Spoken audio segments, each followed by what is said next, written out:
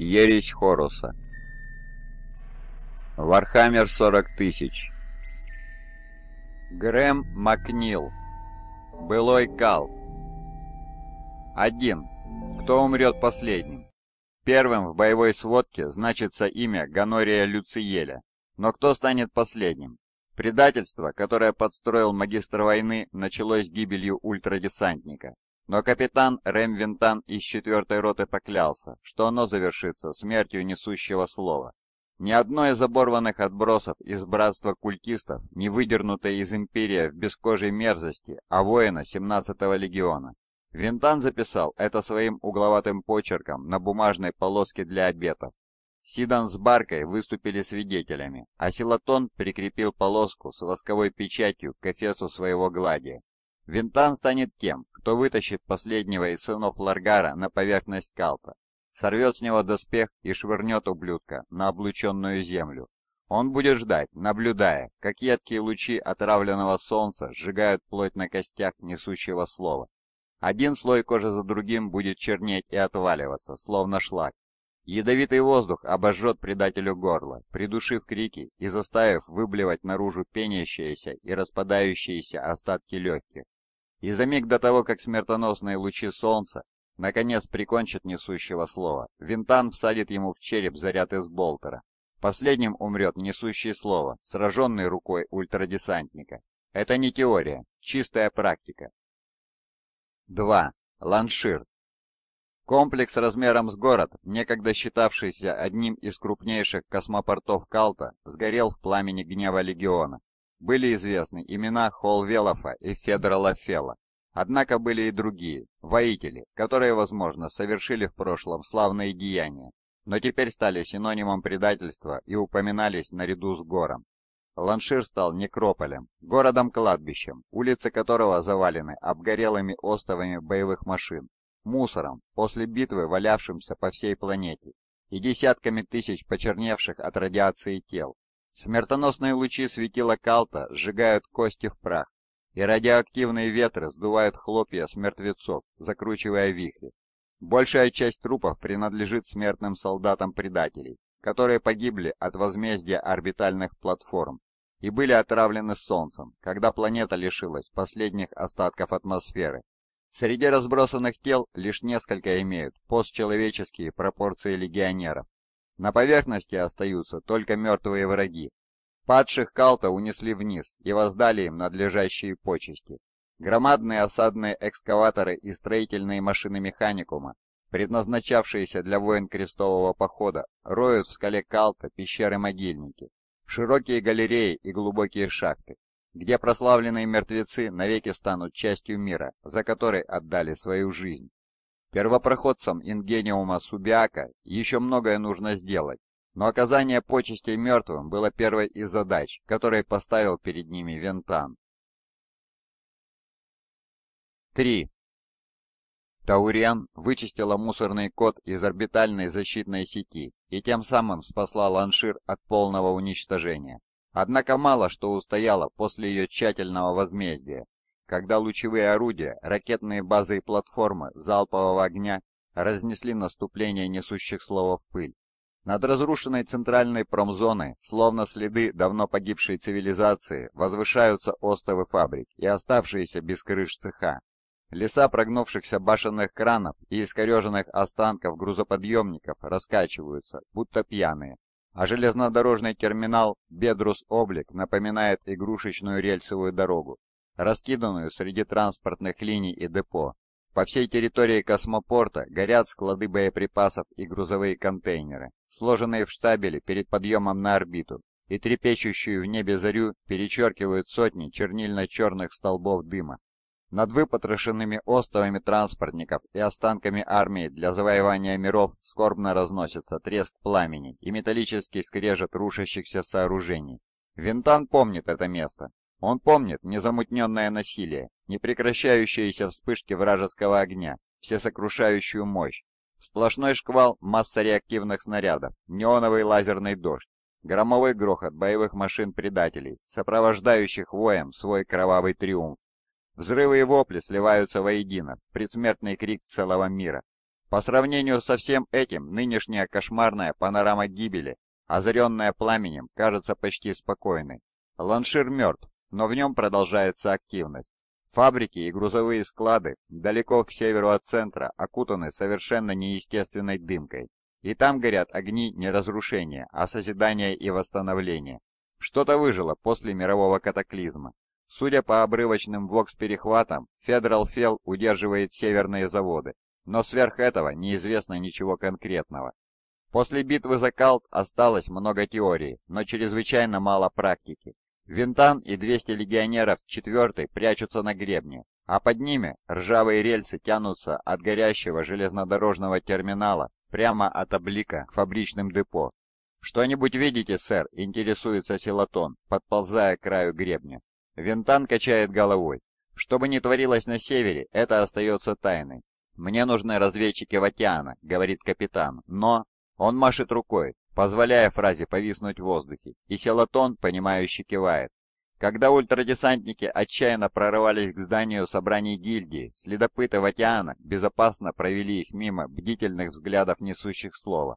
Однако доспехи разведчиков слишком легкие, чтобы выдержать враждебные условия на поверхности. Даже броня Марк-4 может находиться наверху лишь ограниченное время, пока не перестанет защищать. Терминаторы в состоянии перемещаться спокойно, но в распоряжении Винтана их считанная горстка. «Вы действительно думаете, что несущие слова пойдут именно здесь?» – спрашивает Силатон.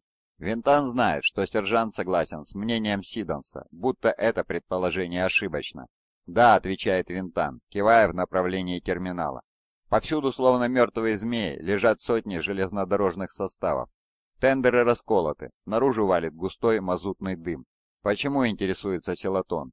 Есть масса более прямых путей к северным заводам, и на каждом из них нужно пересекать большие участки открытой местности. Если они будут двигаться быстро, то смогут успеть, пока орбитальные орудия не выполнят расчет цели. Без техники ты бы рискнул? Перед тем, как ответить, Селатон мгновение обдумывает вопрос. Теоретически, если бы я оказался в ловушке на вражеской планете, без перспективы немедленно получить подкрепление, то захотел как можно бы быстрее соединиться со своими войсками. На практике железнодорожный терминал прикрывает их, говорит Винтан, указывая на изрытую воронками от снарядов крышу здания. Покрытие по большей части цело, хотя задымленное внутреннее пространство и пронизывают колонны болезненно-синего света. Данные ауспика сервера Таурен указывают, что предводитель этих сил осторожен. Он перемещается от укрытия к укрытию, выбирая момент, «Но она их потеряла», — замечает Силатон. «Мы не знаем, где они сейчас. Если он хочет добраться до Федора Лафела живым, то пойдет этим путем», — настаивает Винтан. «Сервер что-нибудь упоминала об их количестве?» «По меньшей мере пять сотен, возможно больше», — отвечает Винтан. «Тогда надеюсь, что вы правы», — с удовольствием произносит Силатон. 4. Первыми появляются потрепанные отделения. Они двигаются неуверенно, словно воры во мраке. Две группы несущих слова, возникшие из выжженного остова завода по ремонту титанов, похожи на осторожных травоядных, приближающихся к водопою, где часто бывает высший хищник. Они быстро перемещаются между горящими остатками сошедших с рельс грузовых контейнеров. Винтан позволяет пальцу скользнуть под спусковую скобу оружия. Он выдыхает. Это всего лишь разведка, Пробные вылазки в горящие развалины на краю вокзала. Враги надеются, что возможная засада утратит бдительность, но Винтан отдал четкие приказы. Никто из его воинов не открывает огонь, хотя наверняка всем этого хочется. Чтобы ловушка полностью захлопнулась, несущие слова должны целиком сунуть головы в петлю. Наблюдая за воинами противника, Винтан видит, что броня легионеров снова изменилась, Сперва она превратилась из гранитной серой в багряную. Теперь же поверхность доспехов представляет собой мешанину черных подпалин, обнажившегося железа и немногих сохранившихся кроваво-красных фрагментов. Первая перемена была сознательной, вторая нет. Свет раненой звезды Калта лишит 17-й легион единообразия, и Вентан осознает, что больше не воспринимает их как легионеров, они выглядят слишком потрепанно и обособленно, чтобы удостоиться подобного объединяющего термина. Они не заслуживают даже количественного обозначения вроде роты или батальона. Это боевая банда, разношерстное сборище выживших. Под шлемом его губы презрительно кривятся. Недолго вам еще оставаться в живых. Авангардные подразделения несущих слова углубляются в железнодорожный терминал, продолжая двигаться с осторожностью и поглядывая в сторону неба и невидимых орбитальных орудий. Они пропадают из поля зрения, скрывшись в клубах дыма, и Винтан отсчитывает секунды в такт ударом сердца. Он гадает, не ошибся ли. Возможно, несущие слова разделились на малые группы, и каждая самостоятельно пробирается к Федоралу Фелу. Капитан чувствует на себе внимательный взгляд Силатона, но не отводит глаз от погнутых рельс, ведущих к вокзалу. Он хочет, чтобы враг показался. Из-под защиты ремонтного цеха появляется марширующая колонна несущих слова, которая движется со всей возможной скоростью, которую позволяет осторожность. По подсчетам Винтана их около шести сотен. Только пехота, ни техники, ни дредноутов. Несколько легких орудий, но ничего такого, чтобы заставило его остановиться или подумать еще раз. Но не только недостаток тяжелого вооружения убеждает его, что атака удастся. Наблюдая за повышенной настороженностью их движений, Винтан понимает, что несущие слова ошеломлены. Они прибыли на Калт высокомерными, убежденными в полной победе но забыли, с кем сражаются. Это упущение дало ультрадесанту возможность нанести болезненный ответный удар. Тычок в живот от поверженного бойца, меняющий ход драки. Винтан выжидает, пока не убеждается в том, что из укрытия больше не появятся новые несущие слова. Он поднимается на ноги и протягивает руку назад.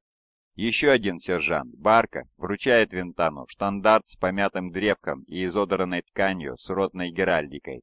Капитан устанавливает его на краю гребня и крепко прижимает болтер к плечу. «Закалт!» — кричит он, и 200 воинов четвертой встают. Огонь болтеров обрушивается на обломки перед железнодорожным вокзалом. Рявкающий залп сносит с ног множество несущих слова, еще до того, как те успевают понять, что их атакуют. Под вторым залпом гибнет еще несколько дюжин. Теперь враги перемещаются за укрытие, отстреливаясь и прижимаясь к земле. Ультрадесантники не наступают, они удерживают позицию, поливая огнем ряды противника. Винтан меткий стрелок и не торопится, тщательно выбирая цели.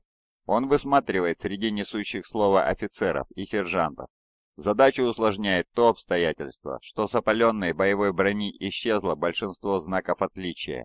За неимением соответствующих отметок капитан выцеливает тех, чьи наплечники и шлемы сильнее всего изодраны обладателей наибольшего количества шрамов или тех, кому, по всей видимости, подчиняются прочие. Он всаживает массореактивный заряд в шлем воина, у которого маслянисто поблескивает кольчужный плащ, а нагрудник увешан кинжаловидными амулетами. Убивает еще одного, на лицевом щитке которого вырезана неровная звезда. Пробегающий между двух разбитых тендеров воин с длинной цепной глефой и потрескивающими силовыми когтями умирает с развороченной грудью. Если бы кто-то еще видел эти выстрелы, то за каждое из убийств Винтан удостоился бы похвалы. Убивая, капитан испытывает то же чувство справедливости, как во время их первого прорыва в Ланшир. В этот момент его болтер не просто оружие, а инструмент праведного возмездия, немезида всему вероломному и предательскому.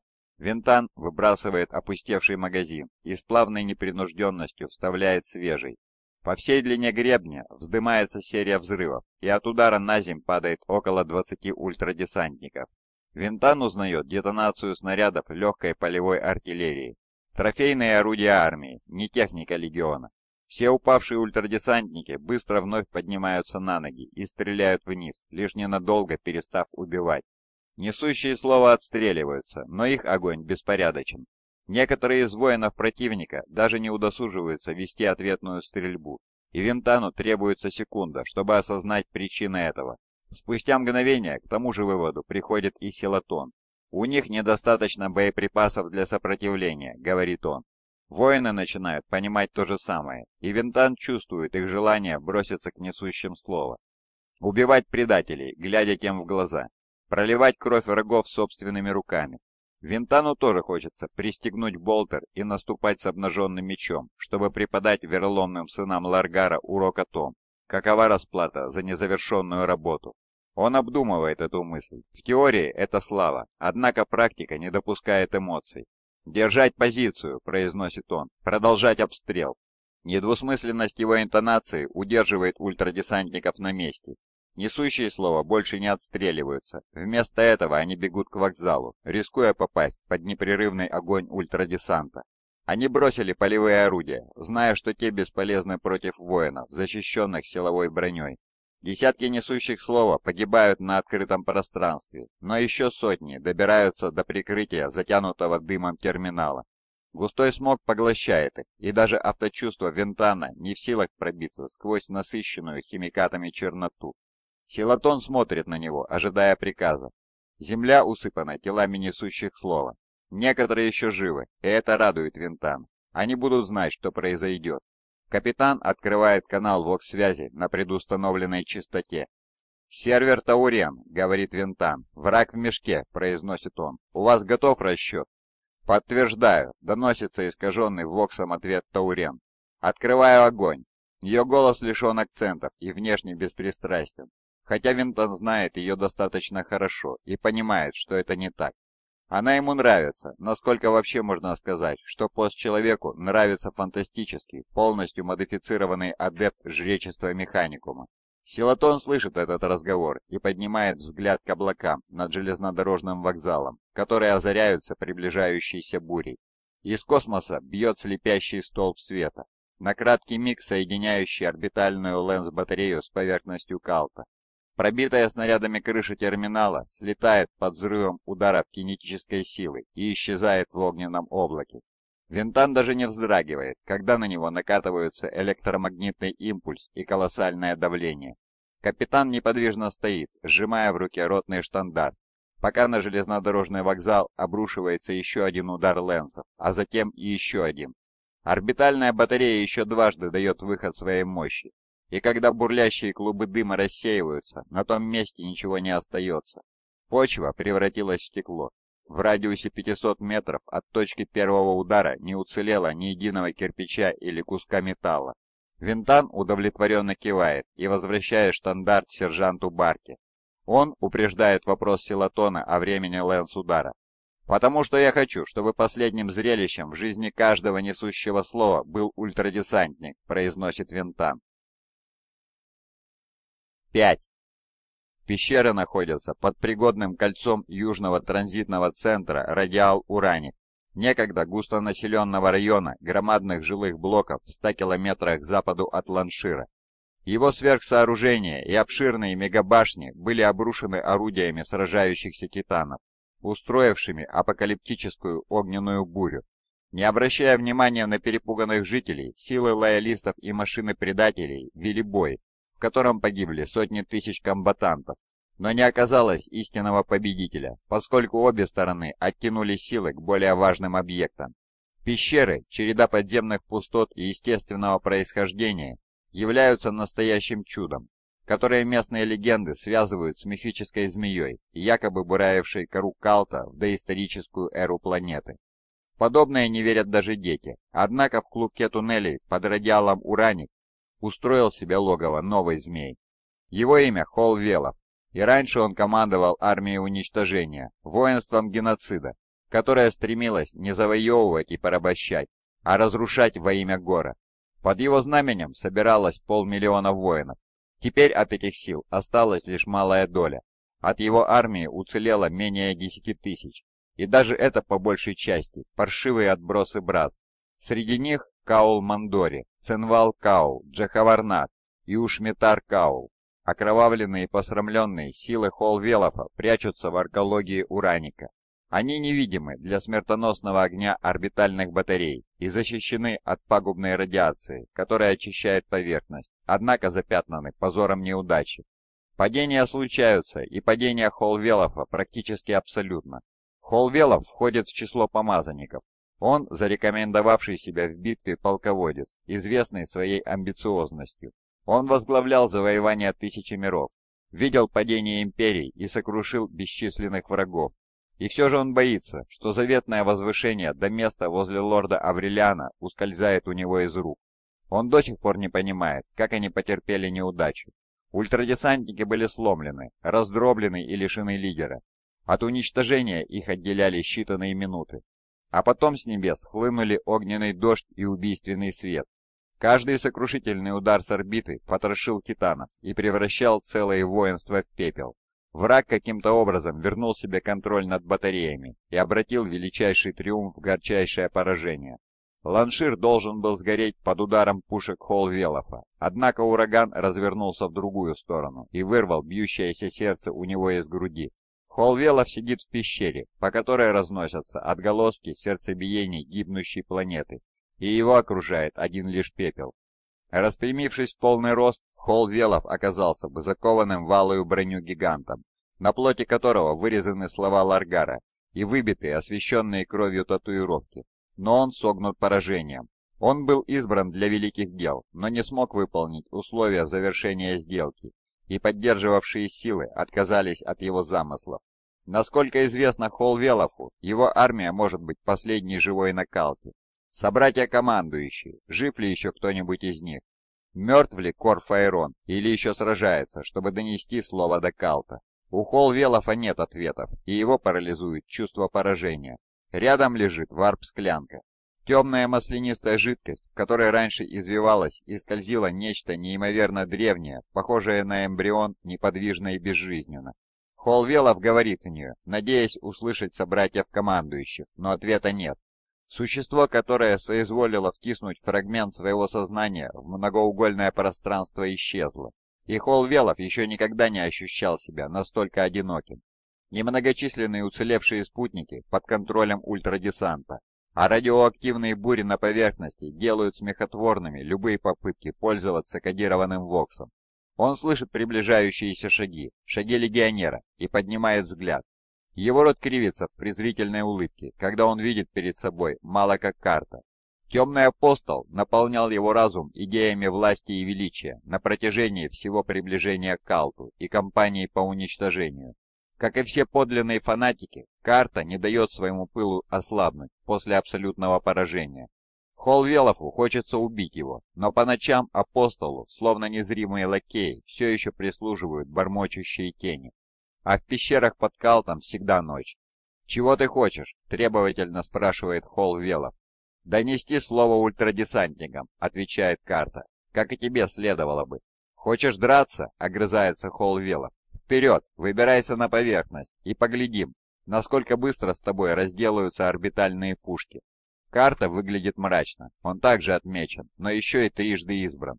На нем благословение примарха, империев и тварей с той стороны пелены. Его доспех поблескивает, как будто броню недавно вымазали кровью, а рунические надписи, вырезанные на каждой пластине, корчатся в лазурной биолюминесценции пещеры. На правом виске шлема рог, который обвивается вокруг головы и оканчивается у левой щеки окованным железом острием. За спиной апостола длинный посох с черным древком, за которым тянется шлейф из дымных теней, оставляющих в воздухе неизгладимый след. Костистое лицо окутано мраком и непроницаемо. Холвелов подозревает, что карта сознательно ведет себя таким образом. «Думаешь, твоя работа на Калте закончена, Велов?» – спрашивает темный апостол. Ты и вправду веришь, что твоей задачей было просто сражаться в войне смертных? Магистру войны и Ларгару Аврелиану требуется, чтобы ты не только проливал кровь болтером и клинком. Им нужно преобразить холст галактики, донести великие истины до тех, кого ослепили пустые посулы Императора. Ты воплощение новой эры. Холл Велофа охватывает злоба, и он выходит из оцепенения, занося одну руку над эфесом боевого клинка, а другую сжав кулак. «Ты это уже говорил», — произносит он, «когда я шествовал во главе неудержимой армии. Твои слова воспламенили сердца всех слушателей, но теперь я вижу правду. Они пусты, как колхидские обеты, и столь же бессмысленны. Мало карта отцепляет шипастый посох от спины, и на мгновение Холвелов решает, что апостол намеревается напасть на него. Но вместо этого карта втыкает посох в пол, и у него за спиной разрастаются бормочущие тени. По всей длине жезла вырезаны катехезисы и благословения, скопированные из Великой книги Ларгара, а на конце находится круглое навершие, из середины которого расходятся восемь шипов актета. «Ты слаб, Холл Велов», — говорит темный апостол, — «слаб и глуп. Вздорный ребенок, который плачет, хнычет и скрежещет зубами, когда его желания впервые не исполняются. Холл тянется за мечом, но не успевает извлечь клинок даже наполовину, когда окружающий посох карта темный дым рвется вперед и сбивает его руку с эфеса. Спустя мгновение перед ним оказывается сам карта. Кажется, будто апостол не двигался, и шепчущие тени перенесли его над землей. Холл Велов делает шаг назад. Его окружает завеса мрака, которая колышется волнами, словно в воздухе висит нефтяное пятно. В глубине двигаются фигуры, бесконечно малые доли колоссальных существ, находящихся вне времени и пространства. Они напирают на границу между этой реальностью и их владениями. Их единственная форма та, что он придает им сам. Множество глаз, клыкастых ртов и искривленных рогов, которые то возникают, то исчезают под его взглядом. Они голодны. Они чувствуют биение его сердца и жаждут вкусить живой крови. Если они нападут, он не сможет их остановить. Карта подходит вплотную, и темнота расступается перед ним. Она окутывает его, словно саван, скользя по выпуклым поверхностям боевого доспеха. Беспросветный покров маячит за спиной апостола, словно послушник. Это зрелище вызывает у Холл-Велофа отвращение. «Подумать только, ведь это я помазал тебя и направил к славе», произносит темный апостол, разочарованно качая головой. Ларгар принес нам истину из тех мест, где боги встречаются со смертными, но ты ее не видишь. Ты слишком невежествен. У тебя есть шанс бросить свою смертную оболочку и вознестись к славе. Но с каждой секундой, которую проводишь в жалком сочувствии к самому себе, ты все больше упускаешь этот момент. Холвелов не до конца понимает слова карта, однако чувствует ужас от того, что все обещанное ускользает от него и никогда не наступит. Он опускается на одно колено перед темным апостолом, склонив голову, будто проситель. «Скажи, что я должен сделать», — говорит он. Его пугает идея покориться замыслам темного апостола, но он знает, что во имя своих амбиций скажет и сделает что угодно. Ему так сильно хочется занять место возле Ларгара и Гора, что он охотно станет выпрашивать у карты объекты. «Галактика меняется, Холл Велов», — произносит темный апостол. Старые пути уходят в прошлое, устанавливается новый порядок. Былого больше нет, а грядущее только обретает форму. Принявшие истину будут процветать, а остальные же сгинут. «Скажи, что я должен сделать», — повторяет Холвелов. «Что нужно от меня силам?»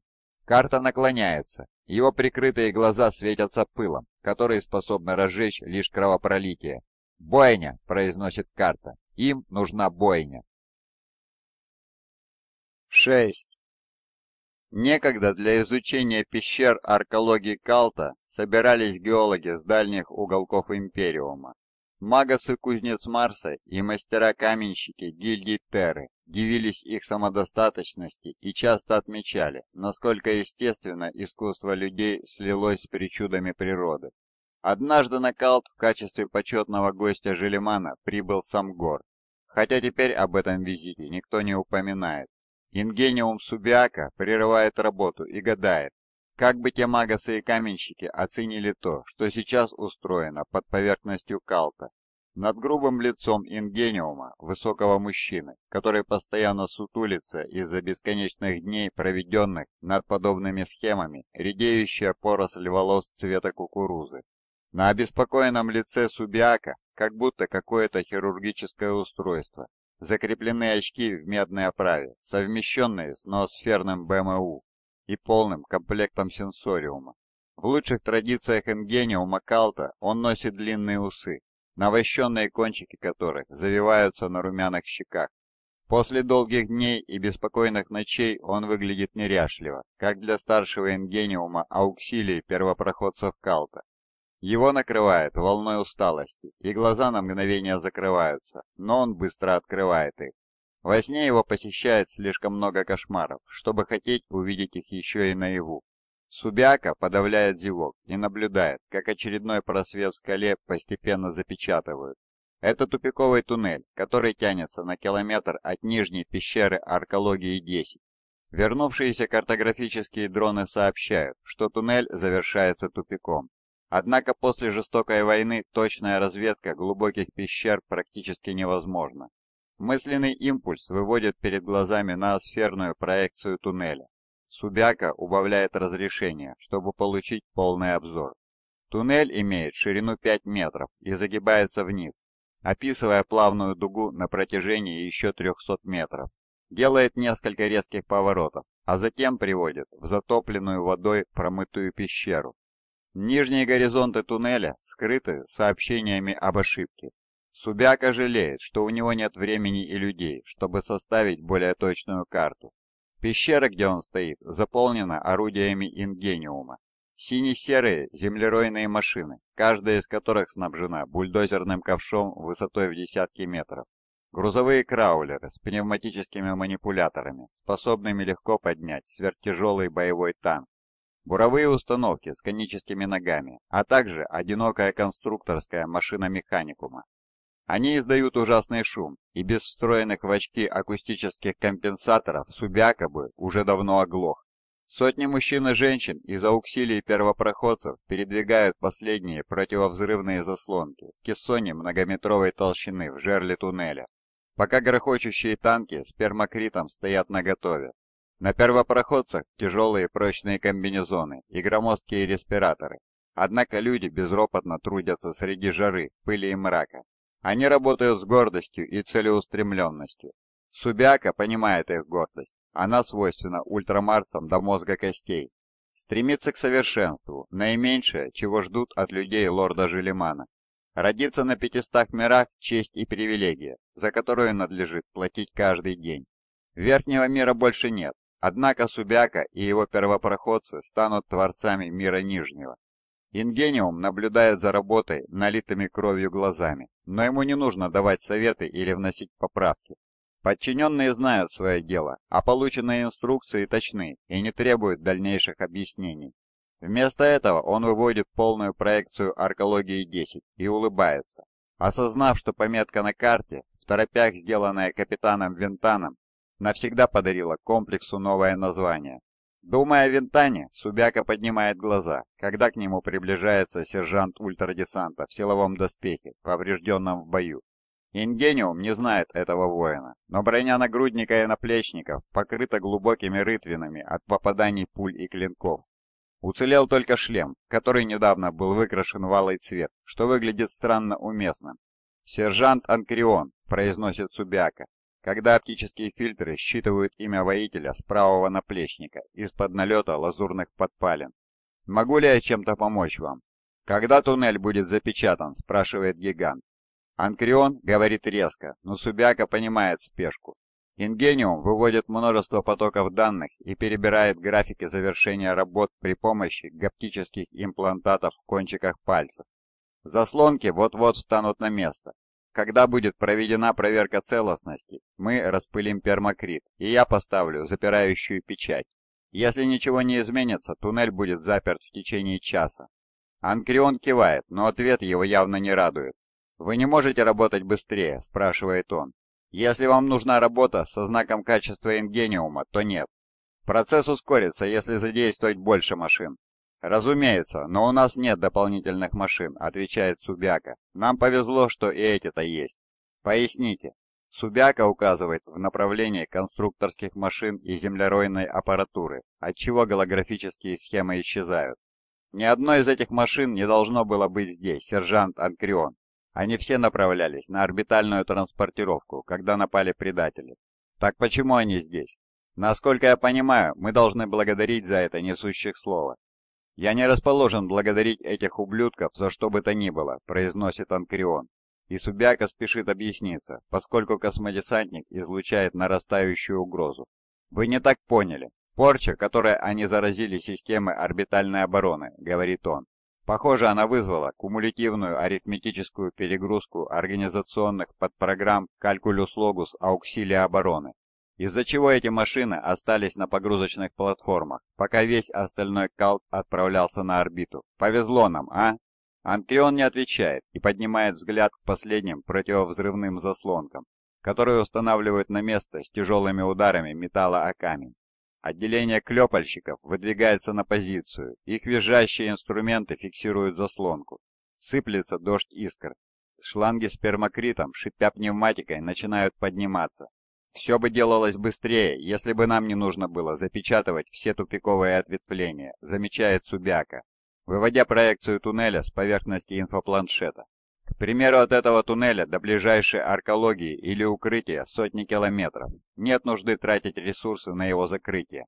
Анкрион мгновение изучает плавно вращающееся изображение. «Вы нашли источник воды в камере на конце туннеля?» – интересуется он. «Нет, предположительно это отверстие пренебрежимо малых размеров. Иными словами, вы не знаете, откуда берется вода».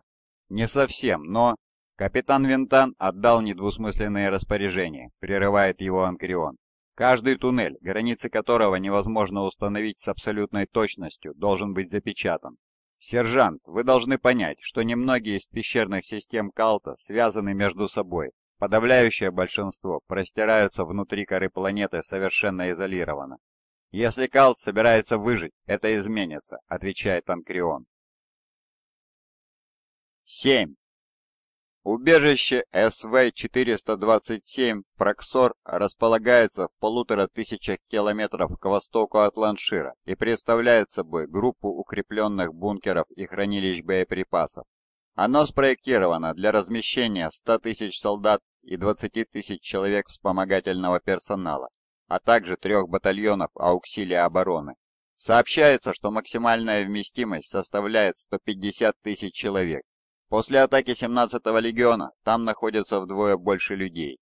Увеличенные пещеры и глубокие сооружения ужасающе переполнены. Однако обитатели испытывают гнев лишь по отношению к воинам несущих слова, которые загнали их туда. Это вполне можно ожидать. Ворота Проксора закрыты около двух недель назад. Внутри укрылись десятки тысяч беженцев, спасающихся от войны и радиоактивных спазмов обреченного солнца. Население убежища превышает его вместимость, а безопасность хранилища боеприпасов требует установить личность каждого. После того, как составят полный список человеческих и оружейных ресурсов, будет разработан план сопротивления и отвоевания. Все многочисленные входы в убежище перекрыты, некоторые пермакритовыми заслонками, а остальные вооруженными бойцами. Сейчас здесь размещены подразделения из пяти рот ультрадесанта, 567 легионеров. Они не охраняют входы в аркологию, а тренируются, перевооружаются и делают вылазки на поверхность. Когда из аркологии 10 доходят известия, что поблизости находятся враги. Защита врат поручена имперской армии, которая представлена тут 16 различными полками, а также подразделением скитариев, загнанных в аркологию солнечным излучением. Командные протоколы и коммуникация до сих пор не упорядочены, Адепты Механикума пытаются связать ВОК-системы армии со своими собственными и системами Легиона Састартес. Различия устройств, сотни шифрованных сетей и триллионы комбинаций кода делают оперативное координирование чертовски трудной задачей. Именно поэтому у майора Кадин все сильнее болит голова.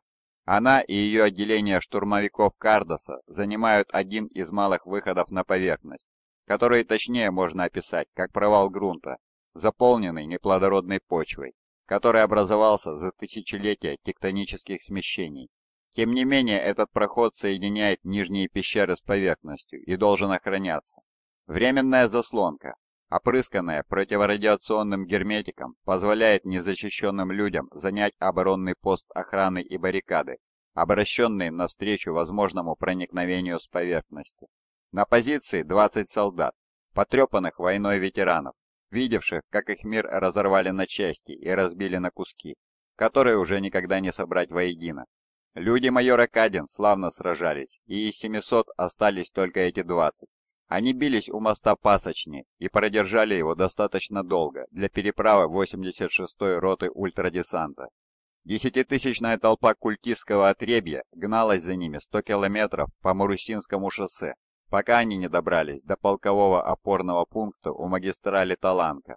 Фланговые силы Холвелофа, окружившие Ланшир, уже почти вынудили их бросить опорный пункт. Но затем с орбиты пролился огненный дождь, который сжег несущих слова с их отбросами, оставив только туманных призраков. Покинув знамя роты, гордо реять над Таланка, майор Кадин последовал за полковником Руриком, который перевел остатки полка в Проксор, Кадин знает, что никогда не увидит поверхности Калта, но надеется, что какие-нибудь остатки вражеских сил попробуют пробиться в убежище. Из-за обнаружившихся признаков слабой клаустрофобии ей не нравится находиться под землей. Но она штурмовик и не склонна признаваться в слабости. Майор сидит внутри единственного сооружения сторожевого поста, укрепленной жестяной будки, с вокс-передатчиком и запасами антирадиационных пилюль, боеприпасов, еды и воды, которые были выданы ее группе. Вот и все, что осталось от некогда элитного подразделения. Из рожка ВОКС-передатчика раздается визг помех, и Кадин вздрагивает. «Чертов механику!» — ругается капрал Баркебис, ее адъютант. Он бьет по серо-стальной коробке основанием ладони. «Чертовы ублюдки никогда ни хрена не делают так, как надо. Я думала, они должны были уже все починить». «Черт, вы и вправду так думали, майор?» — спрашивает Баркебис выуживая из кармана палочку лхо и зажигая ее с пренебрежительностью профессионала. Изо рта поднимается маслянистый дым. «Я думала, ты бросил», — говорит Кадин. «Я выжил на поверхности», — отзывается Баркебис. «Если я там не умер, то и от этого черта с два. Первый меня прикончит скука». Кадин не в состоянии оспорить его логику, и хотя может приказать ему выкинуть палочку, она не будет этого делать. За последние несколько недель они пережили слишком много, чтобы лишать Баркебиса его дурной привычки. Кроме того, может статься, что он прав. Майор пожимает плечами и разворачивается на пятках, услышав гул двигателя. Большого двигателя, чего-то промышленного. Она гадает, не случилось ли с герметиком заслонки чего-то такого, что требует вмешательства рабочей бригады первопроходцев. Майор не ощущает никакого воздействия радиации с поверхности, но полагает, что именно поэтому излучение может быть таким опасным. Ну и что это за хренов шум, интересуется Баркебис. В это время из-за угла с грохотом выруливает тяжелый промышленный транспортер. Грузовой отсек обтянут синим брезентом и перевязан веревками. В нем скрывается несколько громоздких продолговатых предметов. Рабочий инструмент, инженерное оборудование. «Мы кого-то ждем?» – спрашивает Кадин. «Нам ни черта не говорили», – откликается Баркебис, снова стукнув по воксу. По этому куску мусора ничего не слышно. Водитель из армии, но Кадин не видит эмблемы подразделения. Грузовик сопровождают 30 человек. Часть едет с дробовиками на подножках, остальные идут рядом. Они выглядят утомленными, и Кадин в состоянии их понять. Солдаты выглядят несколько оборванными, но это вполне обычное дело. В эти дни все выглядят немного оборванными. Однако солдатские инстинкты говорят ей, что это еще не все. «Выясни, что им нужно», — говорит Кадин, поднимая рожок Вокса. «Я попробую получить какую-нибудь информацию сверху». Баркебес кивает и неохотно тушит палочку лхо. Пока он закидывает Хелган за плечо, Кадин добавляет «Смотри в оба». Бартебес мгновенно понимает, и его поведение тут же меняется. Он выходит с поста охраны и жестом подзывает к себе четверых солдат, которые выглядят громоздко в глянцевой броне абляционных панцирей на одном наплечнике каждого из штурмовиков полковой символ в виде скрещенных копий над черепом, а на другом нарисованная от руки буква 10.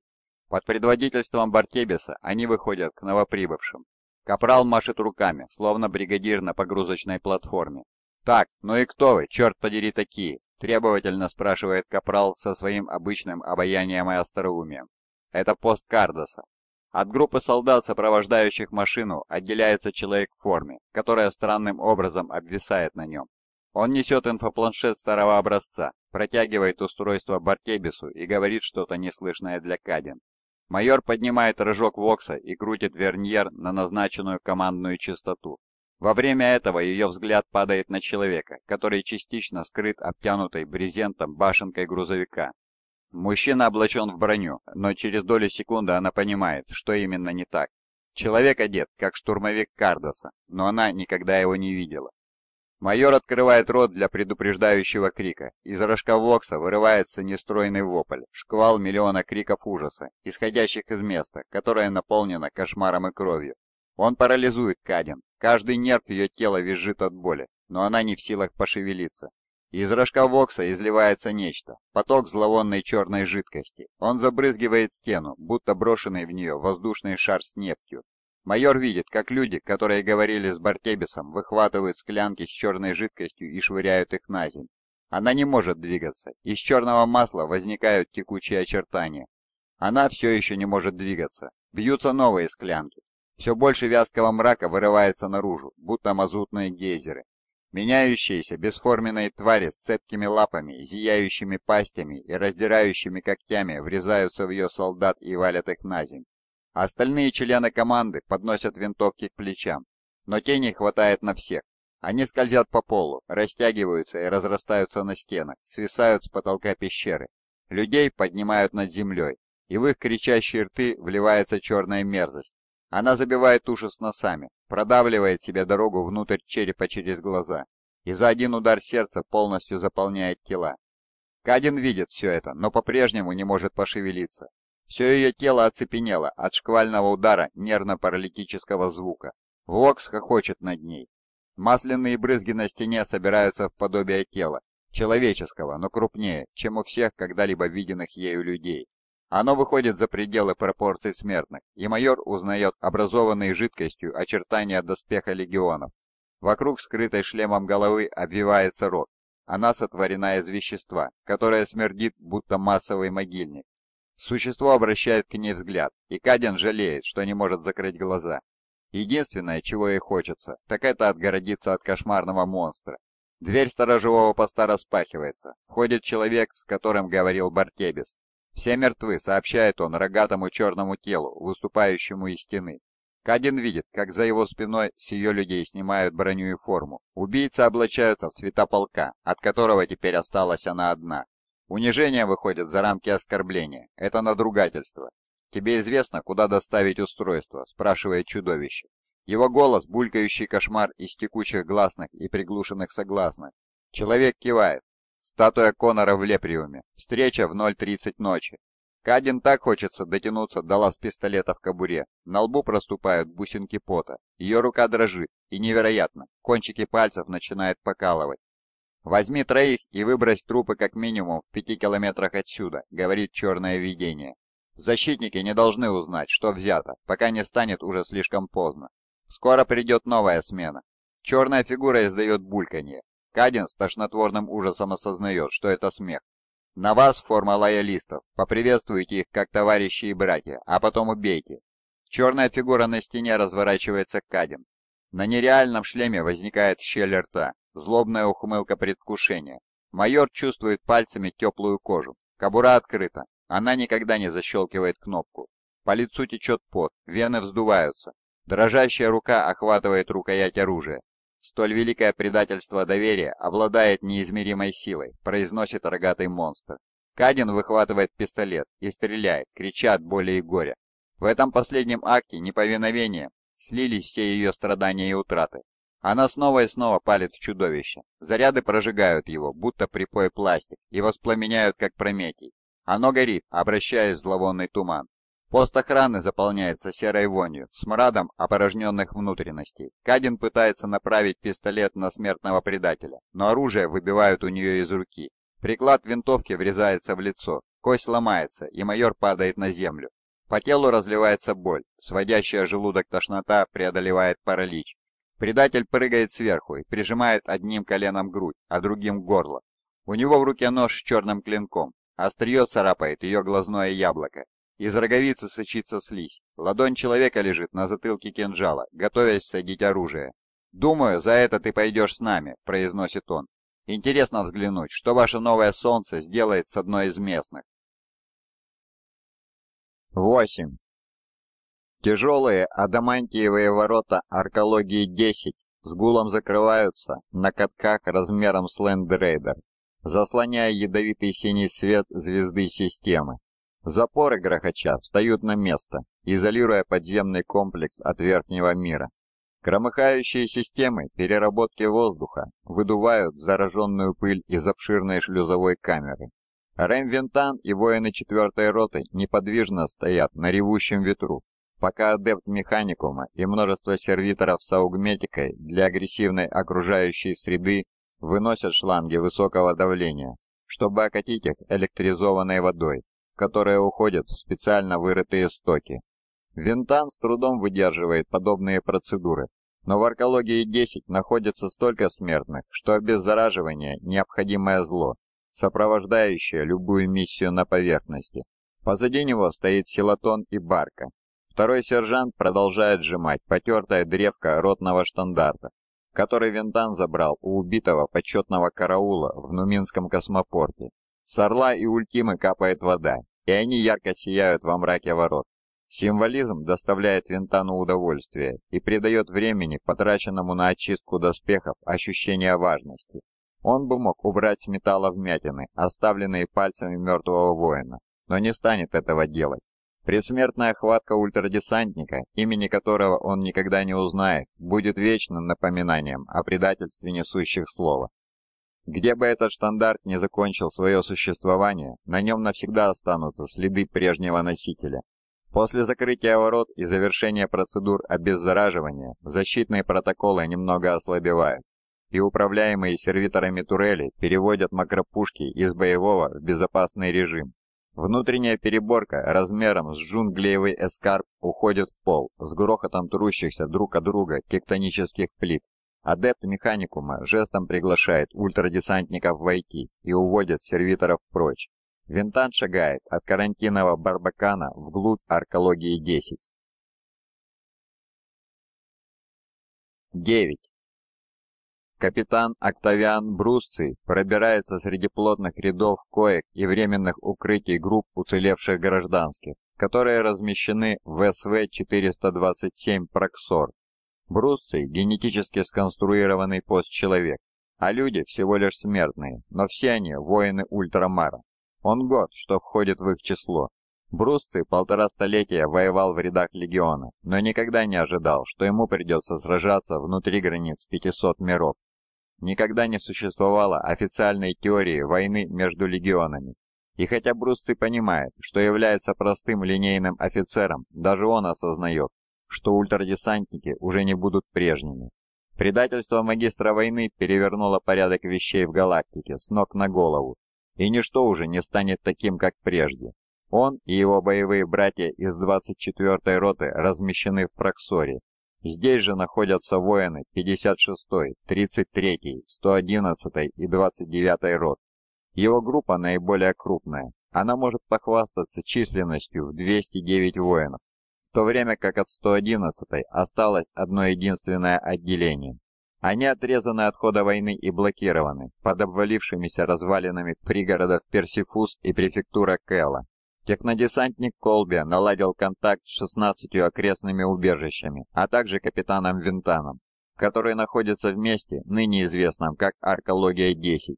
Брусты не знает причины смены названия. Он просто рад, что лорд Джелиман счел уместным поручить Винтану руководство ответным ударом. Несущие слова захватили поверхность, однако ультрадесантники – хозяева войны под землей. Брусты заставляет себя не думать об этом, у него есть более насущные заботы. В каждой из самых крупных пещер устроены регистрационные зоны, которые укомплектованы теми немногими из администратума, кто спасся под землей. Это неблагодарная работа, но граждане Калта безропотно строятся змеящимися очередями, ожидая своего череда. В одну эту пещеру набилось значительно больше 10 тысяч человек, а сзади напирают новые. По расчищенным дорожкам от регистрационных будок между очередями ездят моторизованные тележки, нагруженные стопками копящихся бумаг и удостоверений личности. Все водители носят армейские шлемы, за спины закинуты винтовки. Брусты и 20 его воинов находятся здесь, чтобы наблюдать за процессом регистрации и отслеживать нарушения безопасности. Однако скоро его рота отправится в патруль на поверхность, Капитан понимает важность этой работы, но ему хочется убивать несущих слова. Взгляд Брусция блуждает по тысячам собравшихся в пещере, и ему приятно видеть на каждом лице стоическую решимость. Эти люди видели, как их мир был буквально уничтожен, но нет ни следа паники или безумия. Когда поступил приказ об эвакуации, они явились только с тем, что унесли на себе, но все равно горделиво стоят, готовые служить. Кто еще из граждан Империума смог бы так замечательно мобилизоваться? Почти все молоды, все оборваны и перемазаны сажей. Но никакая грязь не в состоянии скрыть пестро-лиловые радиационные ожоги, которые есть на коже почти у каждого мужчины, женщины и ребенка. Медики называют это отметкой Калта, и она в равной мере является травмой и почетным знаком. Брустый движется дальше, пересекая гулкую пещеру и считая часы до того момента, когда он сможет обратить оружие против врагов. Куда бы он ни пошел, люди оборачиваются и смотрят на него, и их внимание вызывает у капитана легкое раздражение. Он воин, ни больше, ни меньше, а эти люди связывают с ним все свои надежды на лучшее будущее. Это тяжкое бремя, какого он не осознавал до настоящего момента. К нему приближается женщина, которая плотно прижимает к груди ребенка и тянется к наручи. При нормальных обстоятельствах Брусты никогда бы не допустил подобного контакта. Но нынешние обстоятельства далеко не нормальны. За подол ее юбки крепко держатся еще двое детей. Оба они выглядят настолько юными и хрупкими, что Брусцию сложно поверить, будто они пережили творящиеся наверху ужасы. «Да защитит тебя император», – произносит женщина. Брустый не знает, что ответить, и кивает ей. Женщина улыбается, и он знает, что она будет дорожить этим воспоминанием до конца своих дней. Ультрадесантники стали эталоном надежды, живым доказательством того, что Калп вновь поднимется, а его жители однажды вернут все то, что у них отняли. Это был позорный опыт и заметное напоминание о том, во имя чего в первую очередь велся Великий Крестовый Поход. Женщина протягивает руку, и Брусты видит, что на ладони лежит маленькая подвеска в виде аквилы. «Возьми», — произносит она, — «прошу, ты должен». Ультрадесантникам отдан приказ не принимать подарков от гражданских. Несмотря на это, их пункты сбора и вооружения окружены подношениями, знаками благодарности и рукописными посланиями, где говорится о готовности сражаться за Калт. «Благодарю, но это запрещено», — говорит он и разворачивается, чтобы направиться дальше. «Прошу», — более настойчиво повторяет женщина. «Ей нужно, чтобы ты это взял». Что-то в ее голосе заставляет капитана остановиться и снова обернуться. «Кому нужно, чтобы я это взял?» – спрашивает он. Женщина наклоняет голову в бок, словно вопрос смутил ее. «Святой», – произносит она, едва не плача. «Ты должен увидеть, пока еще не поздно. Брусты обнаруживает, что тянется за Аквилой, хотя и знает, что этого не следует делать. Женщина вздыхает, как будто из легких вырвался задержанный вдох. Она поднимает на него глаза, и хотя Брусту и нелегко распознать обычные выражения лиц людей, капитан видит ее удивление от пребывания лицом к лицу с космическим десантником. Рука сжимается на серебряной подвеске, и постчеловеческое тело захлестывает боевая реакция, когда химические шунты доспеха заполняют организм стимуляторами. Болтер резко поднимается вверх, а на визор моментально накладывается тактическая схема, пространственные обозначения и топографические данные. Между ним и боевыми братьями мгновенно открывается вокс-канал. Брустый понятия не имеет, что спровоцировало реакцию. Женщина пятится в ужасе, когда герой-спаситель в мгновение ока превращается в смертоносного биомодифицированного убийцу. Капитан выискивает признаки угрозы и тут же замечает моторизованную тележку, набитую коробками с административными документами и прочим в том же роде. Сразу ясны две вещи. Первое. Тележка нагружена тяжелыми коробками, но направляется к регистрационным будкам. Второе. На водителе форма армии, но она плохо сидит и явно принадлежит не ему. Брусты бежит к тележке, крича людям убраться с дороги. Капитана заполняет ужасное предчувствие. Водитель замечает его приближение, ухмыляется с фанатичной яростью и останавливает тележку посреди пещеры. Брусый плотно прижимает болтер к плечу. Сетка целеуказателя фиксируется на центре тяжести человека. Она мерцает красным, ожидая смертоносного выстрела. Мужчина встает и вопит во весь голос, высоко поднимая винтовку и кинжал с черным клинком. «Услышьте слово Ларгара!» Больше он ничего не успевает сказать. Масса-реактивный снаряд Бруссе разносит ему грудь и всю верхнюю часть тела влажным взрывом мяса. Люди приседают за укрытие, освобождая проход Бруссую, пока его воины приближаются к нему. «Назад!» — кричит Брустый, ударом ноги сбивая останки мертвеца с водительского сиденья и сбрасывая коробки с задней части тележки. Как он и опасался, под ними что-то спрятано. Длинная, грубо сработанная трубка из толстого металла. На обоих концах сварные швы, Оттуда торчит множество закрытых разъемов, электробуферов и ложных проводов.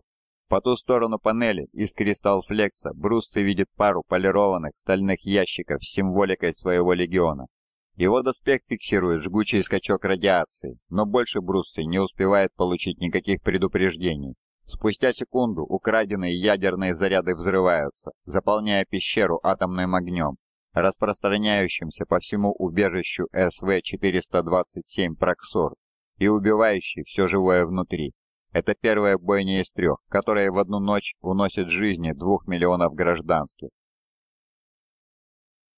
10. Винтана до сих пор забавляет, что его поспешная пометка на карте из бумаги стала синонимом защитников Калта. Когда Ланшир был разрушен орбитальными батареями, обороняющимся потребовалось место сбора.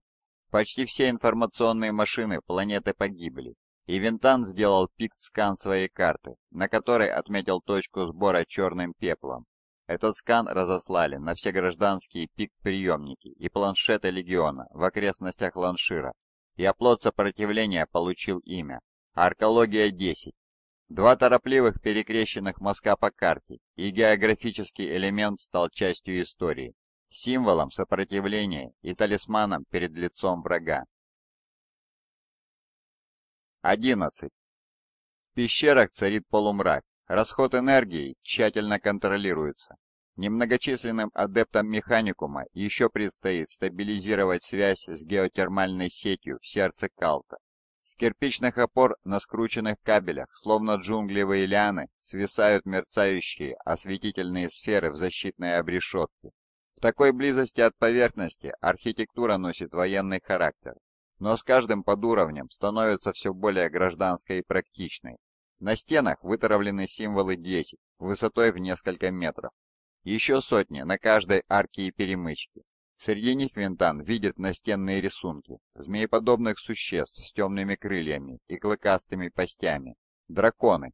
Он отмечает детское исполнение выцарапанных линий и гадает, не изобразили ли эти ужасы на стенах, чтобы прогнать их прочь, это воспоминания о чудовищах, вызванных гнусными сделками несущих слова, или же образы из кошмаров, которые нередки после нападения. Новости об операции Винтана уже достигли Аркологии-10, и возвращение четвертой встречают ликованием и громким «Ура!» тысяч гражданских, собравшихся на обширных подуровнях. Кто-то выкрикивает слово «Спаситель», и вопль подхватывает множество обитателей пещер. Он следует за воинами по уровням, пока они спускаются все глубже и глубже в скальные горизонты Калта. Сиданс ждет их у прохода на административные уровни. Его кобальтово-синий доспех чист и отполирован. Некоторые в Легионе дали обет не счищать пыли кровь, пока Калт не будет отбит. Но Лирас Сиданс, как и Вентан, хочет показать несущим слово, что ультрадесантники все еще царственные короли-воины Маккраги, Никакое предательство и несчастье никогда этого не изменит. Однако даже Сиданс нанес на наплечник черный знак 10, аккуратно вытравив его между изогнутых боков мраморной ультимы. Выглядит как номер ордена или ротное обозначение, но имеет гораздо более важное значение. «Ты делаешь себе имя, Рэм», — говорит Сиданс, пока позади продолжается скандирование. «Я здесь ни при чем, Лирос», — откликается Винтан. Тут повсюду видна твоя рука. Сиданс пожимает плечами и стискивает запястье Винтана. Немного надежды и славы никому не повредит. Винтан не отпускает руку Сиданса. Я хочу, чтобы это прекратилось. Почему? То, что ты делаешь, дарит людям надежду. Я не спаситель, произносит Винтан. И мне не нравится подтекст этого слова. Тебе и не надо любить его, нужно просто терпеть, говорит Сиданс, разворачивается и направляется по рампе в пещеру. Идем, сервер ждет тебя в Ультимусе. Войну за Калт координирует с самого нижнего уровня Аркологии 10. Из пещеры, которая выжжена в литосфере мелтобурами и сейсмическими зарядами. Под жилыми, машинными и гидропоническими уровнями находится окруженный сплошной скалой купол около трех километров в диаметре, от центра которого отходит множество ветвящихся коридоров, под галерей и переплетающихся тупиковых ходов, в самом сердце стоит сооружение из полированного мрамора и стекла. Утилитарное, если смотреть сбоку, но выполненное в виде символа 13-го легиона. Нижние уровни покрыты бронеплитами, а технодесантники на носорогах типа «Тектон» трудятся бок о бок с адептами механикума, создавая подобие опорного пункта. До вторжения зданием владел торговый картель, основанный во времена приемного отца Желимана. Оно называлось Арка Конора, но теперь известно как Ультимус. Налаженная инфраструктура и мощные инфомашины, созданные для координации второстепенных действий по всем 500 мирам, делают его идеальной базой для управления наступательными операциями против оставшихся несущих слова. Подобные сооружения жизненно важны, однако в первую очередь ценен опять же символизм сооружения. Ультимус окружен сотнями временных построек, излишки населения сверху. Из Ланшира спаслось столько беженцев, что верхние уровни оказались быстро переполнены, и у Винтана не осталось вариантов, кроме как позволить ставить жилые помещения вокруг своего командного поста. Ему это не нравится, но выбирать не приходится. Людям просто некуда больше идти. До беженцев уже дошло известие о возвращении воинов, и люди собираются на краю прохода, ведущего к воротам Ультимуса. Они ликуют, машут руками и хлопают. Они выкрикивают имя Винтана и снова называют его спасителем. Капитан сохраняет на лице нейтральное выражение, но замечает, что Сиданс веселится.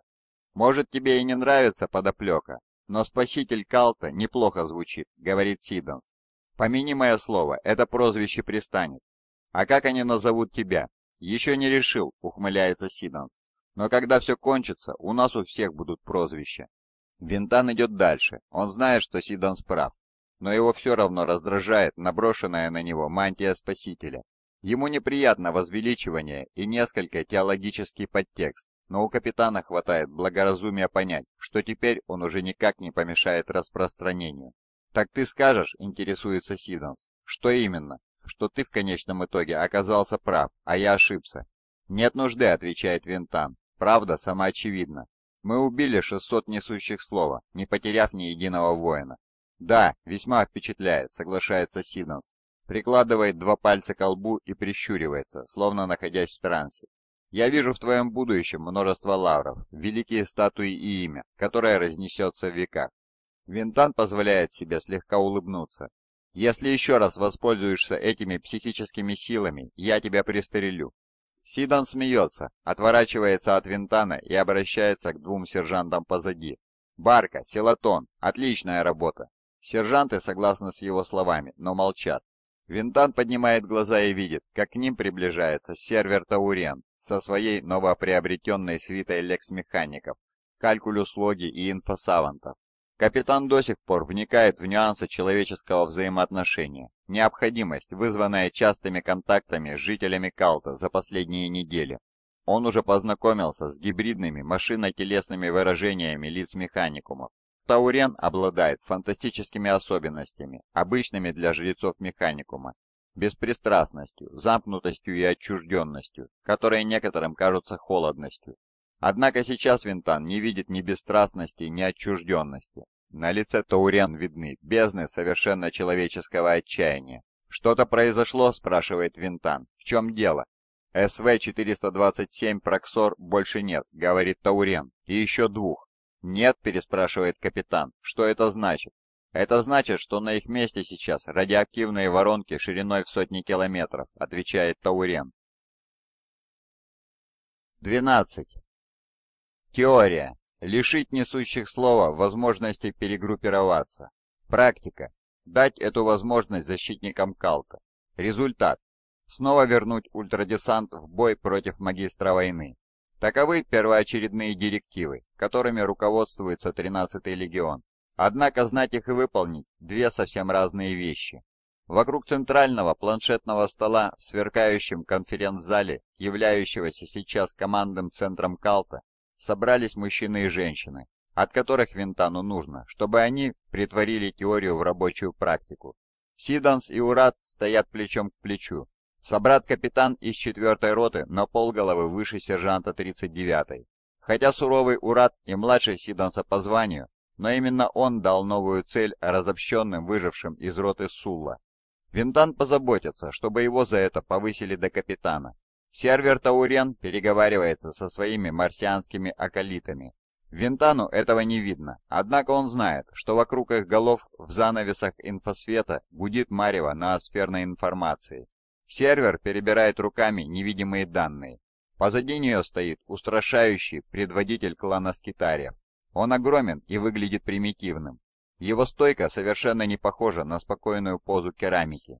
Он явно занимает гораздо более низший чин в боевой иерархии. Конечности покрыты металлом, а на нижней половине черепа зубастый металлический капкан, похожий на челюсть зеленокожего. Полковник Хамадри сверяется с инфопланшетом. На ее лице выражение холодной решимости. Ее сын служит в 61-м Нуминском, но ей неизвестно, жив он или мертв. Статистическая вероятность предполагает второй вариант, но пока гибель не будет подтверждена, Хамадри будет считать его живым. Это хорошо. Винтану необходимо иметь рядом с собой людей, способных сохранять надежду вопреки всему. Напротив Хамадри стоит капитан Вольпер Улиет из 77-й дивизии поддержки Ингениума. Крепко сложенный квадратный офицер, который за 50 лет службы ни разу не покидал Калта и не бывал в бою до последних недель. На первый взгляд он не годится, чтобы присутствовать у командного стола. Однако Винтан смотрит не на послужной список, а на действия во время первой фазы атаки. Пока остальные пребывали в ошеломлении от нападения несущих слова, Улиет отреагировал моментально. Через 4 минуты после начала атаки батальоны строительных машин и землеройной техники уже сооружали редуты и защитные валы вокруг главных ворот центральной аркологии Ланшира. Это тоже хорошо. Винтану нужны люди, способные быстро реагировать. Ингениум Субиака стоит возле Таурен, и очевидно, что ему приятно находиться рядом с адептом механикума. Субиака обладает лишь незначительной аугметикой, которую можно легко снять и почитает как героев тех, кто столь тесно общается с богом-машиной. Анкрион сообщает Винтану, что Субиака славно трудится в туннелях, обеспечивая безопасность множества потенциальных входов в Аркологию-10. Человек изможден, но отказывается отдыхать. Все смертные относятся к третьестепенным силам, резервистам или подразделениям, отправленным в тыловой эшелон. Большинство было укомплектовано новобранцами, солдатами, которых специально готовили к кампании против ксеновладений Гаслакха, оказавшейся, как теперь понимает Винтан, совершенно надуманной. Когда солнце умерло, в порту Ланшира остались только те силы, которые грузились последними, новые полки, инженерные подразделения или группы логистической поддержки. Почти никто из них не подготовлен для передовой. Сиданс снова и снова говорит Винтану, что они не готовы к тому, чего он просит, и похоже, что резкое освещение зала только подтверждает это. Все лица измучены и напряжены от утраты и шока. Сидан прав, они не готовы, но Винтан верит, что предательство отточило ранее неизвестные грани. Опустошение наверху очистило их от беспечности. До того, как Винтан сделал Аркологию-10 своей опорной базой, он, кроме воинов Легиона, ни с кем лично знаком не был, но теперь знает всех. Капитан заставил себя изучить их сильные и слабые стороны, а также все человеческие недостатки, которые должен учитывать в своих планах. Некоторые полагают, будто он впустую тратит время, пытаясь понять смертных, но Винтану виднее. Сейчас космодесантники могут взаимодействовать со смертными, только понимая их. «Сервер», — произносит Винтан, — «дайте мне информацию». Таурен кивает, и под кожей ее пальцев начинает мерцать свет, пока она управляет планшетным столом при помощи гаптических жестов. На столе возникает нарушенная помехами голограмма гигантской воронки шириной в сотни метров, которая заполнена дымом. Она омрачает пейзаж, и так будет всегда. Блуждающие тепловые потоки и атомные вихри перемещают мозаично-пиксельные облака испарений размером с города. «Вы все слышали новости о СВ-427 «Проксор», — говорит Таурен. «И о других», — отвечает полковник Хамадри. На ее исхудавшем лице пятна от незалеченного радиационного ожога. Прошлой ночью мы потеряли более двух миллионов человек. Головы кивают. Смерть таких масштабов слишком ужасна, чтобы пытаться осознать случившееся. Такое громадное число сложно представить. Оно чересчур огромно для восприятия. Хамадри – полковник ауксилии обороны. Она молода по меркам этого звания. Винтан видит, что женщина отважна и в грядущие годы сыграет важную роль. Хамадри удерживала свои подразделения на поверхности, сколько это было возможным, чтобы дать как можно большему числу беженцев попасть в аркологию. «Мы знаем, что произошло», — интересуется Сиданс. СВ-427 «Проксор» был складом боеприпасов для орбитальных платформ и боевых кораблей Легиона, говорит Таурен. Судя по электромагнитным показателям и зафиксированным мощностям трех взрывов, Вероятнее всего, что вражеские лазутчики смогли модифицировать и взорвать несколько боеголовок, хранившихся там циклонных торпед. «Как это возможно?» – требовательно спрашивает Хамадри. «Это оружие находится под защитой механикума. У вас что, нет систем безопасности для предотвращения подобных ситуаций? Они мертвы по вашей вине». Таурен явно больно слышать обвинения Хамадри. Она сдавливает кромку планшетного стола так, что белеют костяшки. Голографические облака в ответ наклоняются в ее сторону. «Довольно, полковник», — произносит Винтан. Его интонация не допускает возражений, однако Таурен поднимает руку. Она не нуждается в его защите, отвечает Хамадри с заметным спокойствием. Да, у нас есть ритуальные протоколы для предотвращения подобных проникновений, но системная порча, привнесенная в планетарную ноосферу, нарушила многие из наших литургических систем безопасности. «Я думала, ваш кот-убийца избавился от нее», — говорит Хамадри. Таурен кивает. «Да, кот-убийца Магаса Хеста выжег вражеский мусорный код огненной бурей цифрового опустошения, но очистка была неизбирательной. После восстановления командных полномочий многие из наших систем оказались выведены из строя.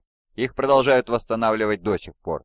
«Так это может случиться снова?» – спрашивает Улиет. «Я лично проверила протоколы безопасности всех остальных хранилищ оружия», – говорит Таурен. «Я спрашивал не об этом», – замечает Улиет. «Об этом», – отвечает Таурен, и ее уверенность физически ощутима. Улиет кивает, вопрос улажен. «И как мы ответим на это зверство?» – спрашивает Сиданс. «За это ублюдки должны как следует получить». Все согласны со словами Сиданса, и Винтан видит на каждом лице жажду мести. Он вспоминает, как собрат-капитан твердил ту же карательную мантру во время прибытия в Лепкий Нумин. Это естественное и совершенно понятное желание отплатить за причиненный ущерб, но сейчас оно столь же безрассудно, как и тогда. Винтан наклоняется вперед и опирается обеими руками на край стола. «Мы ответим тем, что выживем и закончим бой», — говорит он. «Продолжим координировать те силы, которые сохраняют боевую эффективность, и разработаем практическое решение для этого. Тех, кто погиб в Параксоре, больше нет, и никто не вернет их обратно. Скорбите, когда Кал станет свободным, но пока вы находитесь в этом зале, то все находитесь в моем распоряжении. Поймите и примите это, или же уходите. Его слова встречены гробовым молчанием. Они терпеть не могут его холодную объективность, явное отсутствие заботы о мертвых. Винтану безразлично, одобряют ли они его, Однако он должен дать им что-то, какую-нибудь искру, чтобы разжечь в сердцах пламя. Ему плохо даются подобные слова, но это лучшее, что может сделать капитан.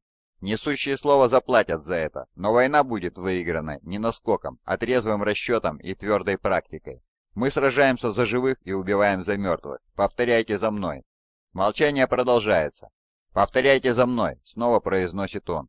Головы склоняются, кулаки прижимаются к сердцам. Мы сражаемся за живых и убиваем за мертвых. 13. Над ланширом воют радиоактивные ветры, от которых в шлеме раздается сердитый треск.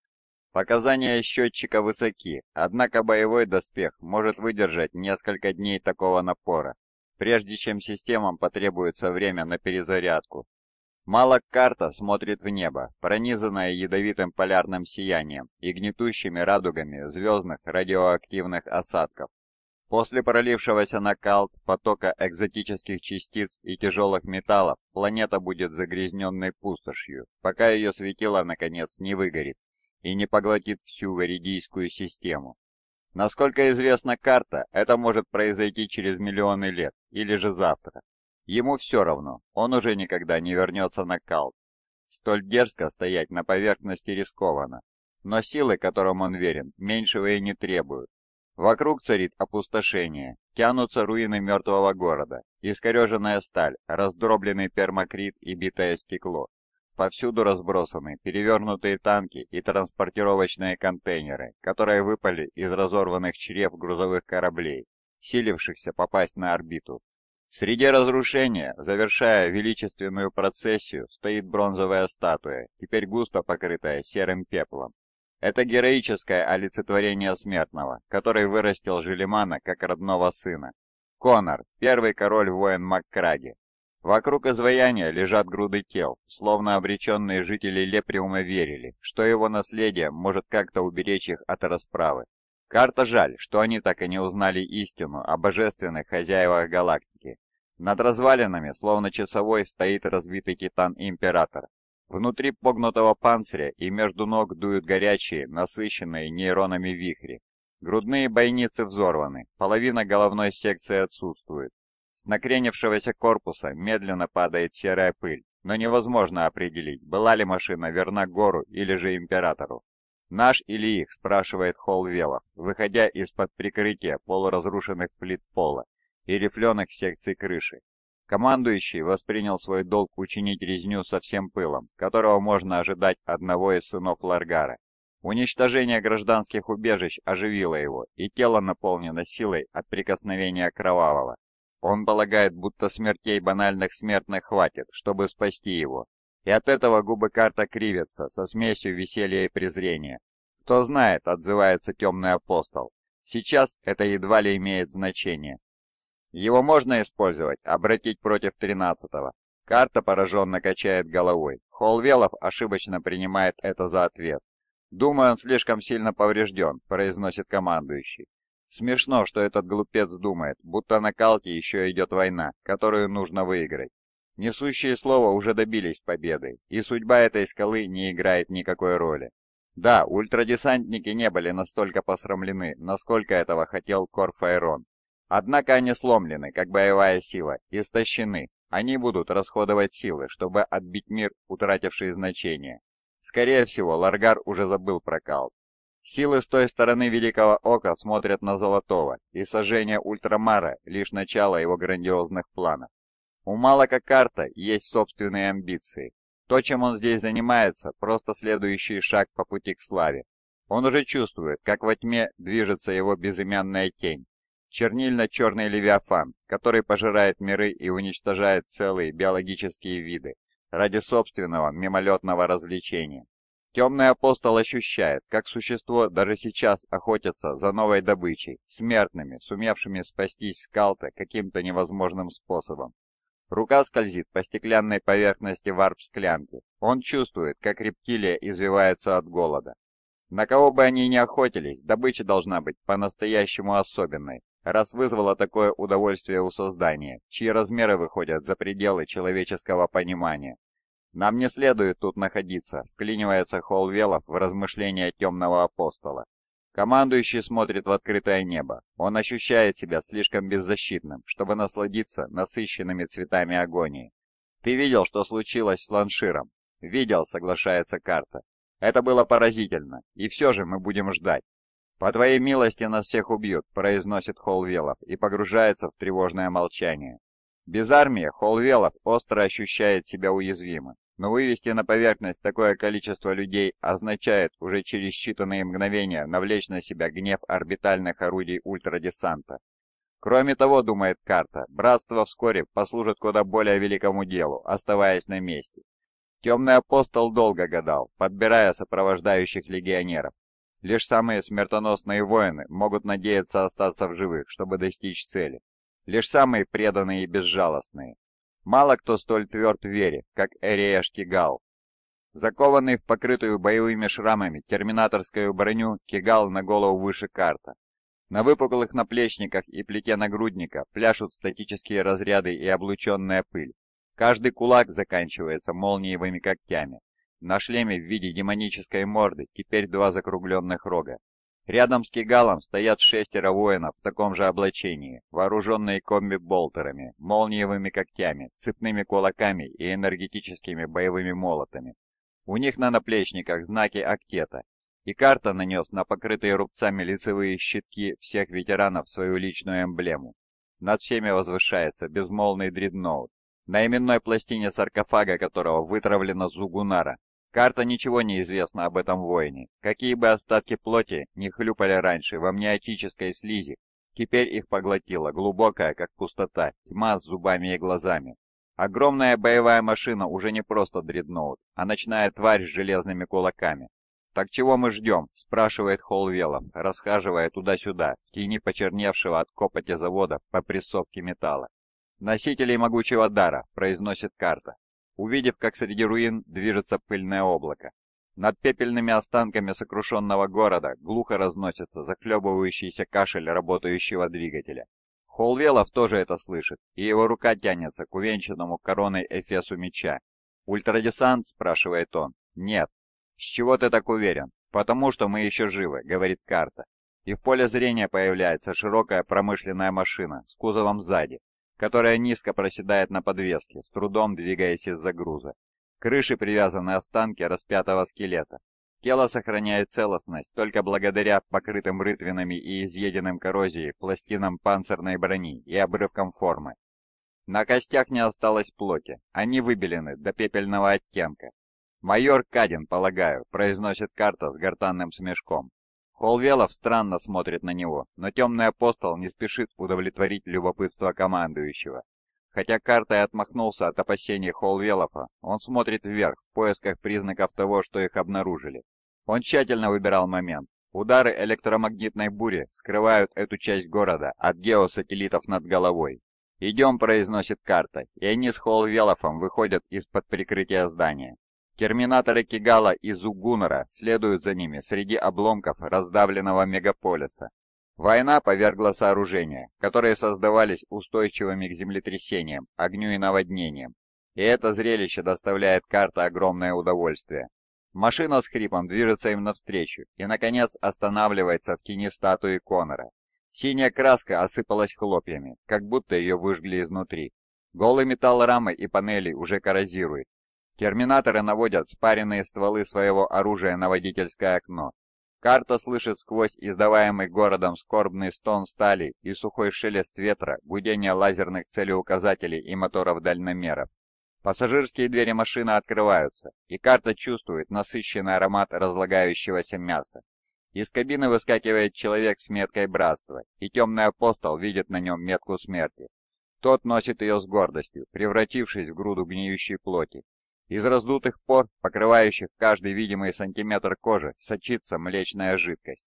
Глаза желтого цвета пронизаны лопнувшими капиллярами и практически слепы из-за катаракт. Увидев, что на человеке вражеская форма, Холл Велов обнажает меч. Он еще не понял, что это один из их людей.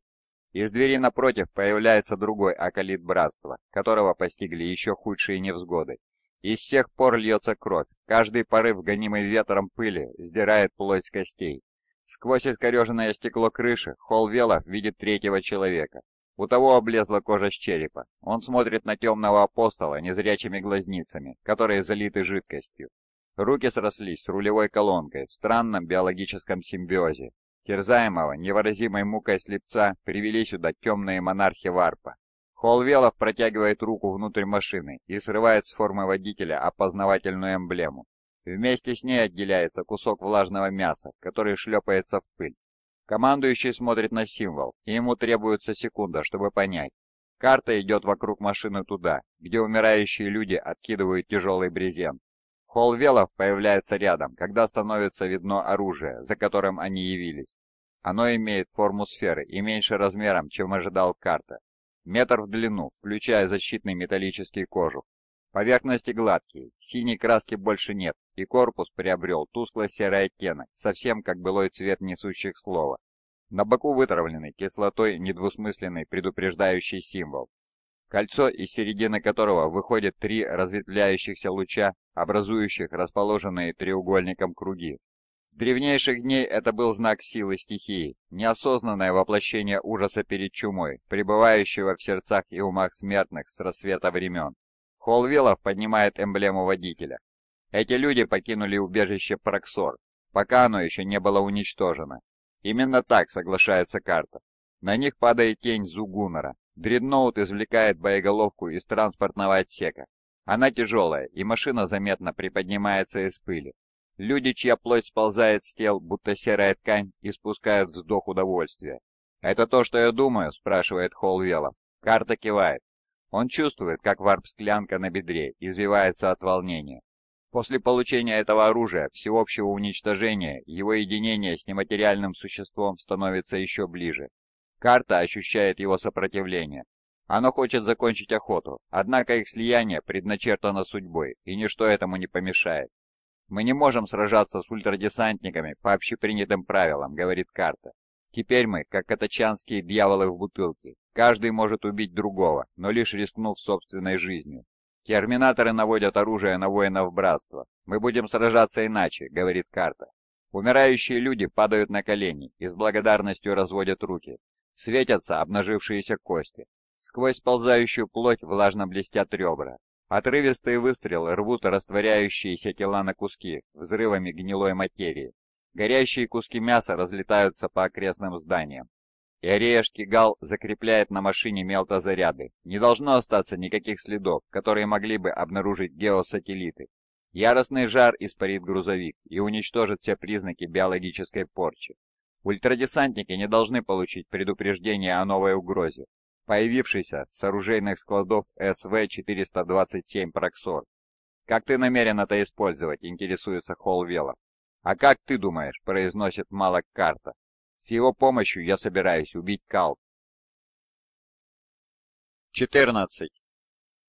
Световая дымка висит над поверхностью планшетного стола, словно низкий туман. Проплывающие пылинки попадают в рассеянное свечение голопроекторов, создавая мерцающие сбои рефракции на выведенной карте. На ней отображается поверхность калта, окрашенная оттенками зеленого, коричневого и желтого. Символы, отображающие позиции ультрадесантников и их союзников, выделены золотом и синим.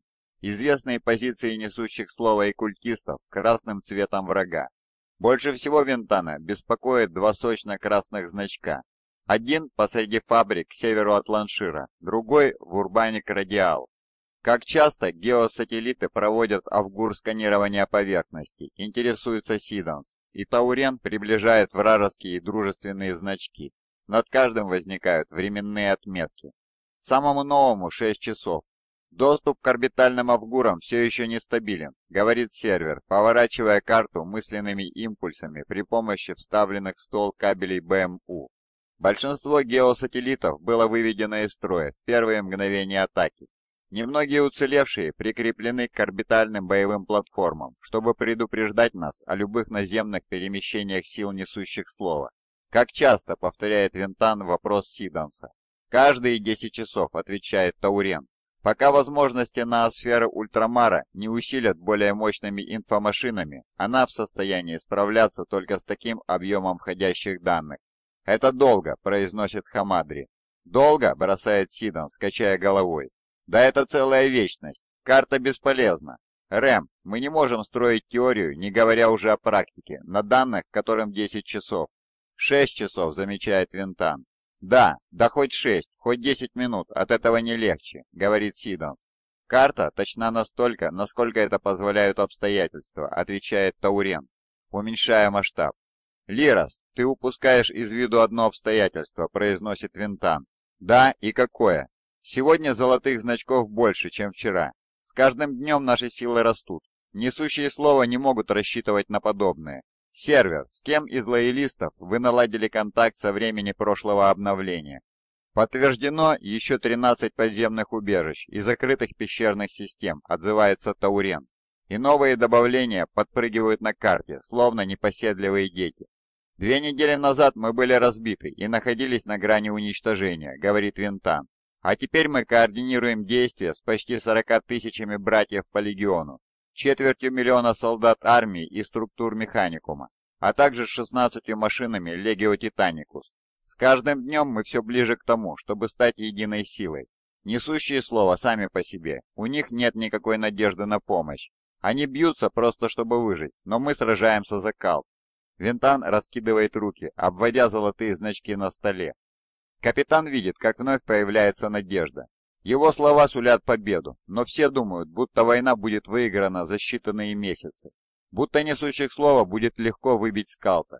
Они ошибаются, и Винтану нужно привнести за стол сурового реализма. Используя ручное управление, он подсвечивает область карты, где находятся два наиболее тревожащих его значка он работает ручками настройки, возникают мерцающие символы, размещение сил и идентификаторы подразделений. Данные неполные устарели, однако в сочетании с тем, что он видел своими глазами, их достаточно. Командующий несущих слова по имени Федерал Фелл устроил крепость в северных фабричных районах, произносит он. А Холл Велов, полководец, который разорил Ланшир, перегруппировался под радиалом Ураник. Похоже, что Велов занял опорную позицию, так что сейчас его можно сбросить со счетов. Однако мы не можем позволить Фелу создать надежную базу на севере. «У тебя есть план?» – интересуется Сиданс, которому не терпится броситься в бой. «Есть!» – ухмыляется Винтан. «Пойдем на север и прикончим ублюдка». 15. Туннели, которые окружают Ингениума Субяка, сумрачные освещаются невидимыми для него пляшущими огнями. У всех проходов признаки естественного происхождения.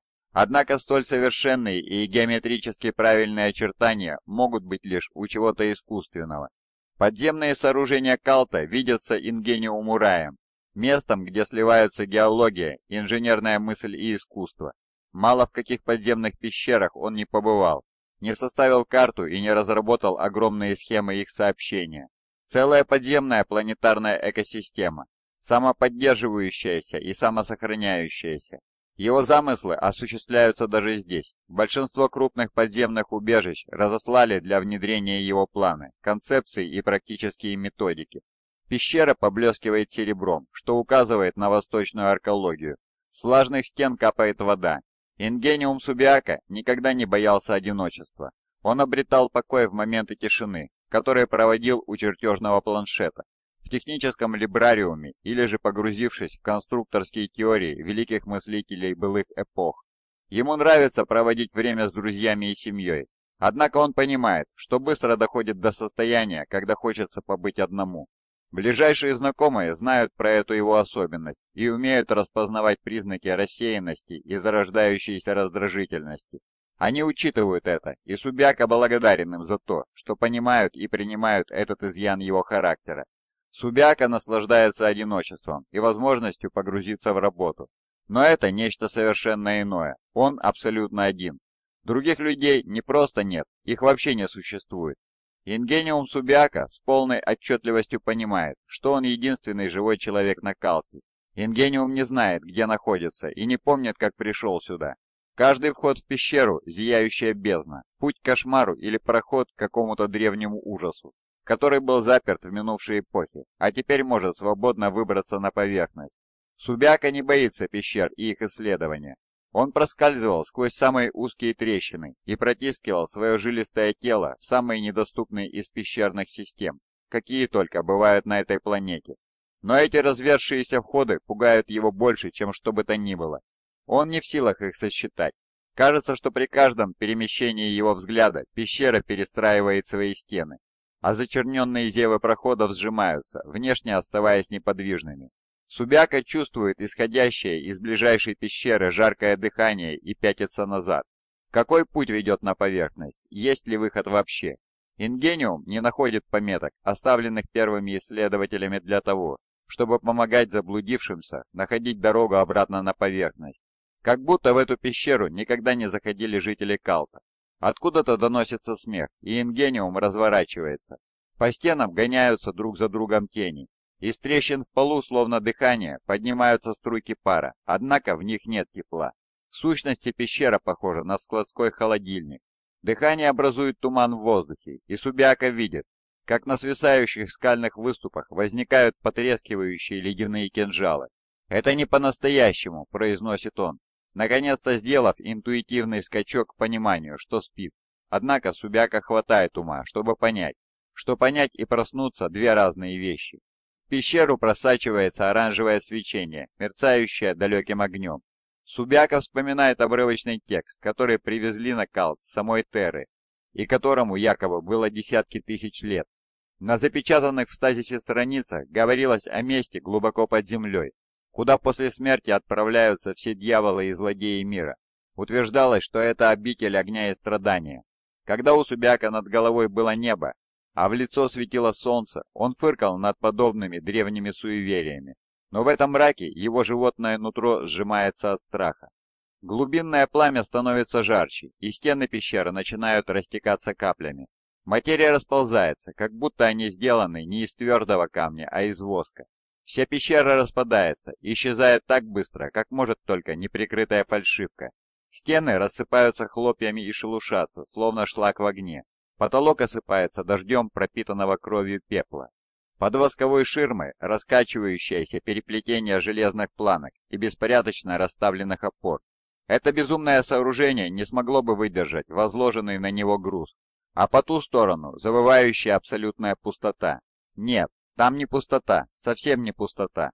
Там движутся невообразимо огромные силуэты, левиафаны, которые вышли за пределы жалких категорий этого слова. Субяка в ужасе, что между ним и чудовищами находится лишь эта хрупкая решетка. Он пятится от ближайшей сетки, когда перед ним моргает громадный глаз.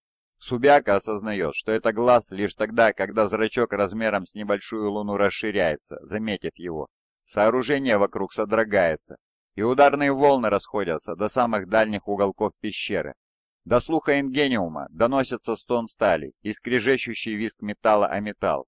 Слева что-то разламывается, и Субяка слышит тук-тук-тук стальных когтей по железным планкам. Слышит, как те гнутся и раздвигаются в стороны. Откуда-то раздается кудахчущий смех. Его источник может находиться в тысячи километров или же прямо позади. Субяка не дожидается, когда это выяснится, и начинает бежать, надеясь, что в противоположном направлении. Он слышит скрежет покрытых металлом тел, протискивающихся в дыры, которые слишком малы для невероятных габаритов. Слышит крики боли и голодный вой. Ингениум продолжает бежать, благоразумно не оборачиваясь, чтобы посмотреть, что же за ним гонится. Единственное, что ему ясно, нужно убираться. Он бежит, а вокруг разносится звук, издаваемый сотнями полированных стальных клинков. От них сыплются искры, которые озаряют рушащуюся реальность стробоскопическими вспышками и порождают тени от деформированных конечностей, раскрытых челюстей и потрошащих клыков. Субяка кричит, услышав, как из-за решетки в обваливающуюся систему пещер пробиваются еще тысячи аморфных тварей с клинками. Если они его схватят, то убьют, но он боится, что после этого будет еще хуже. А потом впереди чудо. Огромная адамантиевая дверь, громадный портал, который заслуживает и, несомненно, носит более точное название – врата. Лишь они уцелели в растворяющейся пещере и сохранили целостность перед лицом порчи извне, которая уничтожает все, с чем соприкасается. Врата черные и блестящие, сложенные из циклопических блоков титанического камня, добытого в глубинах лишенного света океана. По центру врата запечатаны огромным золотым кругом, на котором начертана сложная алхимическая и математическая формула. Заводной ангел. Это древняя загадка, однако она известна Субиака. С четкостью, которую способен породить только ужас, Ингениум понимает, что решение откроет врата. В центре Великой Печати располагается вычурная клавиатура из меди и гагата. Пальцы быстро тычутся в черные кнопки, Шестерни крутятся, штифты отодвигаются, вложенные друг в друга диски из блестящего металла разделяются. Замок отпирается, и печать расходится посередине. Врата открываются, и через просвет между створками льется золотое сияние. Оно лечит и очищает, оно такое яркое, что от него можно ослепнуть. Субяка прикрывает глаза от лучей и чувствует, как на него накатывается желанное тепло. Позади он слышит вопли зверей с клинками, гнавшихся за ним. Свет смертелен для них, он сжигает и развеивает темные силы, которые скрепили их тела. Золотое сияние ширится, исправляя повреждения, нанесенные хрупким стенам реальности. Целительная энергия чудесна, порча из-за пелены перед ней и убирается обратно за преграды, которые не дают ей вторгнуться в царство порядка и здравого смысла. Свет окутывает Субяка, и тот позволяет ему, и его глаза открываются, и Ингениум обнаруживает, что над ним стоит жена, лицо которой покрыто морщинами от испуга. Субяка садится и вздрагивает, когда спазм боли простреливает позвоночник. Разборная койка неудобна, но она гораздо мягче, чем скатка на земле. Он видит, что в углу выделенной им комнаты съежилась дочь, натянувшая одеяло на колени. Она глядит на него расширившимися от страха глазами. «Мне приснился кошмар», — говорит он, судорожно выдохнув. «Всем снятся кошмары», — отвечает жена, обнимая его и кладя ему голову на плечо. «Неудивительно», — произносит он, глядя на стены квартиры так, словно те могут в любой момент распасться на части и открыть таящийся за ними ужас. Он прислушивается, и ему кажется, что слышно слабое тук-тук-тук полированных стальных когтей. «О чем он был?» – спрашивает жена. «Твой кошмар». «Не помню», — отвечает он. 16. Ультрадесантники выдвигаются крупными силами. Из Аркологии-10 выходят 15 сотен воинов, километровая колонна тяжелой бронетехники. Бронированные двери открываются на залитые синим светом пустоши, и мощь легиона, которой достаточно для покорения мира, отправляется на войну. Их возглавляет Винтан, занимающий командирский отсек теневого меча. Внутреннее пространство сверхтяжелого танка не рассчитано на пост людей, но он сумел втиснуть громаду своего тела на место, предназначенное для смертного. Внутри сверхтяжелой машины пахнет смазкой, двигательным маслом, потом и тошнотворно-сладкими сосновыми благовониями. Винтан слышит в Оксе болтовню экипажа, но отключается. Ему нет нужды слышать их обмен рабочими репликами, пока нет. Хотя Винтан и не верит в бога-машину, он отрывисто кивает символу шестерни с выбитым на ней черепом, который нанесен на переборке рядом с ним. Хоть это и противоречит его характеру, капитан касается изображения кончиками пальцев. Не на удачу, а чтобы воздать почести силам механикума, которые помогли вернуть Калт с грани. Хесту, керамики, Улдар и тысячам прочих, чьи имена он никогда не узнает. Словно отмечая его жест уважения, окружающие планшета начинают звенеть от поступающей информации. Стучащие ленточные принтеры выплевывают рулоны вощеной бумаги. Данные от тауренск-агитаторов Аркологии-10.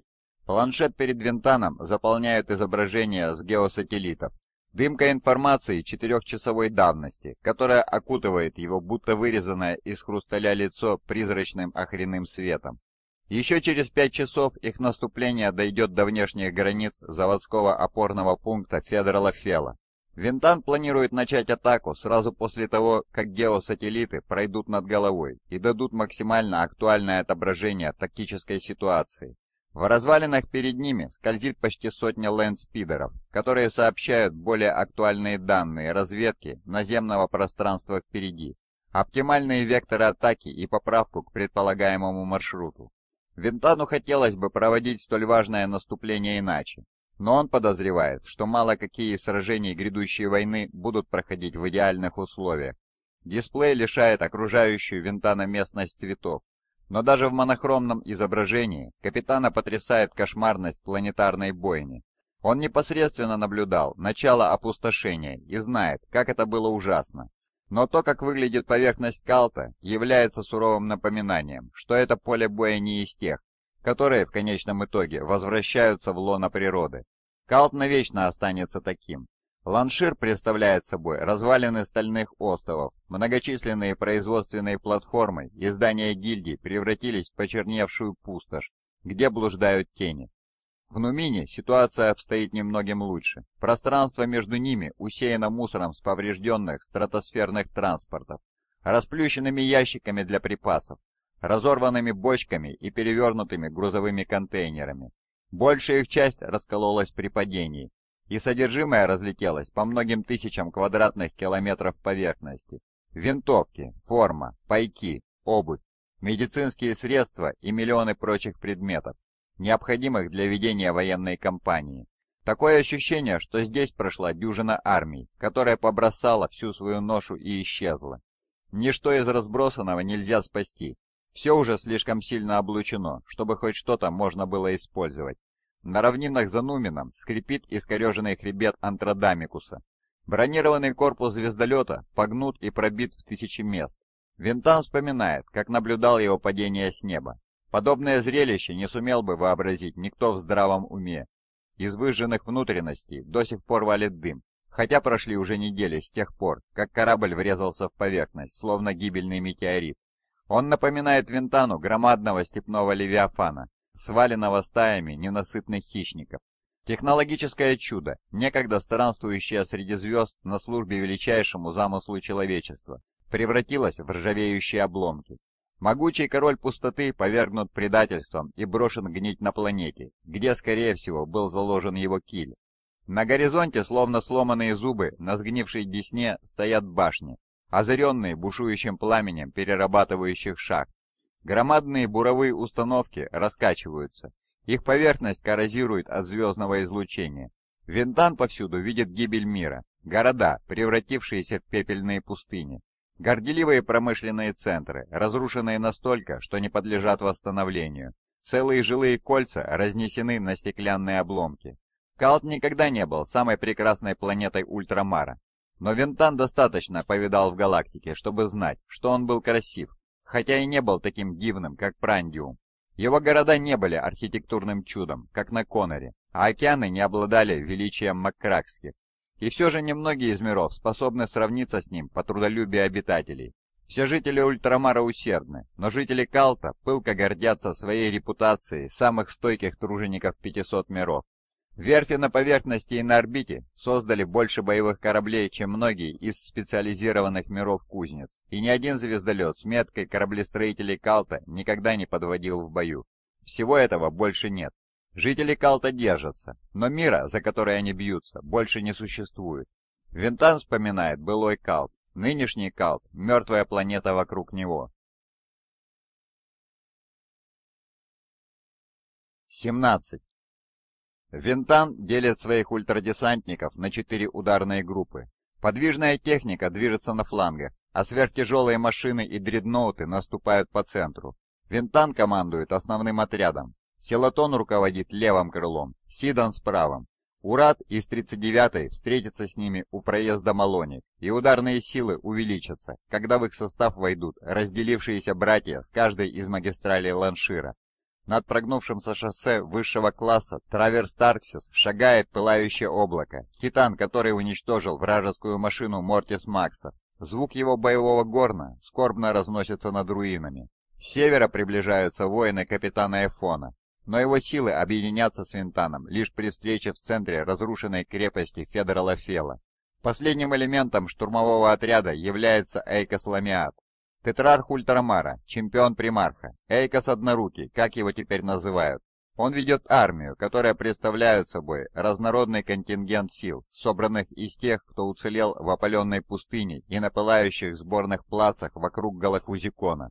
Под знаменем Тетрарха армия, скитарии и ауксилия обороны, а также великий телемехр, небесный воитель, рожденный дважды, Ламиаду оторвало руку болтами несущих слова, и его воины провозгласили себя щитоносцами.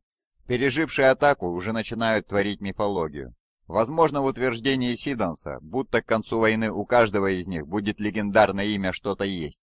Нечто, что попадет в музей будущего. Винтан заставляет себя думать не о возможном грядущем, а о настоящем. Он объединил самые крупные силы с момента сбора. Это подходящий ответ. Та немногое информация, которую Таурен смогла собрать из краткого соединения с кагитаторами несущих слова до предательства, сообщает, что Федерал Фел – военный лидер, обладающий большой храбростью и харизмой. Если дать ему возможность успешно собрать несущих слова, война за Калт растянется на десятилетия. Опорную крепость в фабричных районах необходимо сравнять с землей. Ультрадесантники продвигаются медленнее, чем хотелось бы Винтану. Однако график составлен запасом, Часть маршрутов, которые выглядели свободными на орбитальных пиктах, на Земле оказались непроходимыми. Лэнспидеры пробивают проход своими пушками или же сообщают новые пути. Через пять часов скоординированные штурмовые силы ультрадесанта окажутся на подступах к крепости Федерала Фела за несколько минут до обновленной телеметрии с орбитой. И вооруженный самой точной информацией, Винтан сотрет Федерала Фела с лица Калта. 18. Холл Велов следует за Малаком Карта в развалины ланширского небоскреба, которому переломили хребет. Громадное сооружение лишилось верхних 300 этажей, с точностью тысячеметрового клинка, срезанных пустотной системой левого борта Антродамикуса. Сила удара согнула нижний контрфорс и нарушила структурную целостность здания. Небоскреб скрипит и стонет на завывающем ветру, от пола к опорным колоннам толщиной в несколько метров тянутся широкие трещины. Падение башни всего лишь вопрос времени. Похоже, что ни это, ни наличие поблизости известного опорного пункта ультрадесанта не тревожит Малакакарта, который ведет маленький отряд в заваленный трупами атриум. Ударная волна от сражения машин в трех километрах отсюда, у канала Ниансур, выбила гелиотропные окна строения, и обожженные тела покрыты потемневшим от пепла стеклом, которое отбрасывает изменчивое отражение.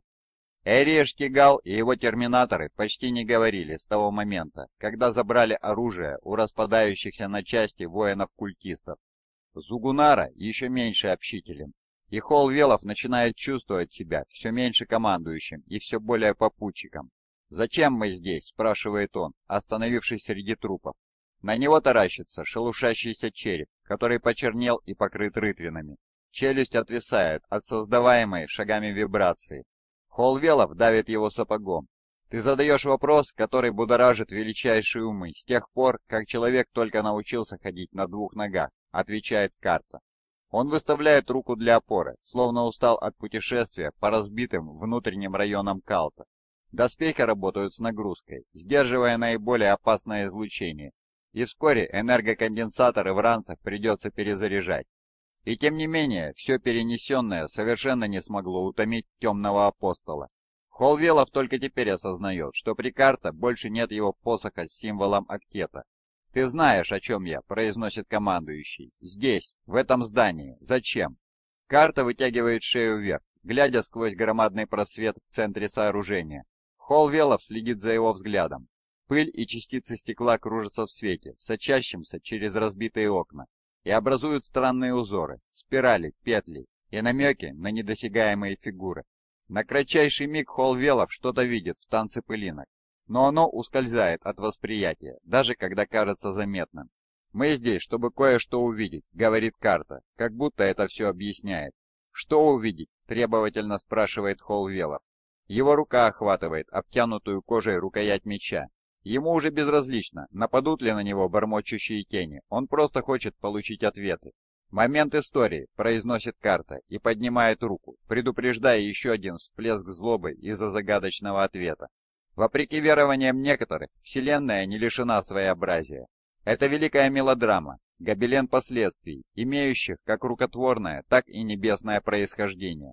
Большинство из них малы, и их легко не заметить, но некоторые имеют галактическое, даже вселенское значение. И если такие драмы нужно внести во Вселенную хвалебными песнями темным монархам, их надлежит наблюдать. Близится несколько таких представлений, и мы здесь, чтобы стать свидетелями одного из них. «Что произойдет?» – спрашивает Холл Велов. «Лезь со мной и увидим вместе», – со вздохом говорит карта. Холл Велов оглядывается на атриум. Небоскребу срезала верхушку, однако он все равно высится почти на полтора километра. Я полагаю, это чересчур. Надеяться, что у транспортных лифтов осталась энергия, интересуется он. Карта насмешливо смеется. «Заслужена славная драма», — произносит темный апостол, направляясь к пыльной и заваленной трупами лестничной клетке. «И поверь мне, ты не захочешь ее пропустить». 19. Как и все связанное с войной на Калте, твердыня Федора Лафела уродлива. Разобранные мануфактурумы послужили сырьем для укреплений. Остроугольных бастионов, низких отражателей артиллерийского огня и врытых в землю укрытий. Это раковая опухоль на местности, окутанная туманом и залитая оранжевым светом воплощение проклятия. Вверх, словно следы от когтей на холсте, тянутся струи черного, как смоль дыма, а в воздухе смердит горящими нефтепродуктами. Винтан вспоминает несущего слова, именовавшего себя Морполом Ксиром, который утверждал, что воинство Федора Лафела исчислялось десятками тысяч. Орбитальные удары Таурен проредили их, но весь вопрос в том, насколько. «Давай же!» – бормочет он, глядя, как на основном планшете уменьшаются показания счетчика. Наконец тот доходит до нуля, и спустя несколько секунд, в течение которых замирает сердце, с мерцанием оживает боевой логистр, с геосателлитов загружаются данные в реальном времени. Информация льется рекой.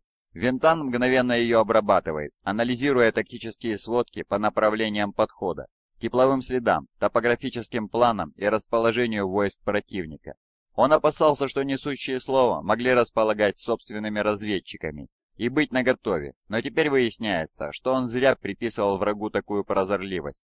Информация расходится по командным офицерам, и на логистере вспыхивают символы готовности. Они увидели то же, что и он, и жаждут боя. Псы войны рвутся с поводка. Даже Ламят подчиняется его указаниям. Это право и честь Винтана отдать команду. Его теория непоколебима, его практика уместна, им всем это известно. «Всем группам начать разгром», — приказывает Винтан. 20.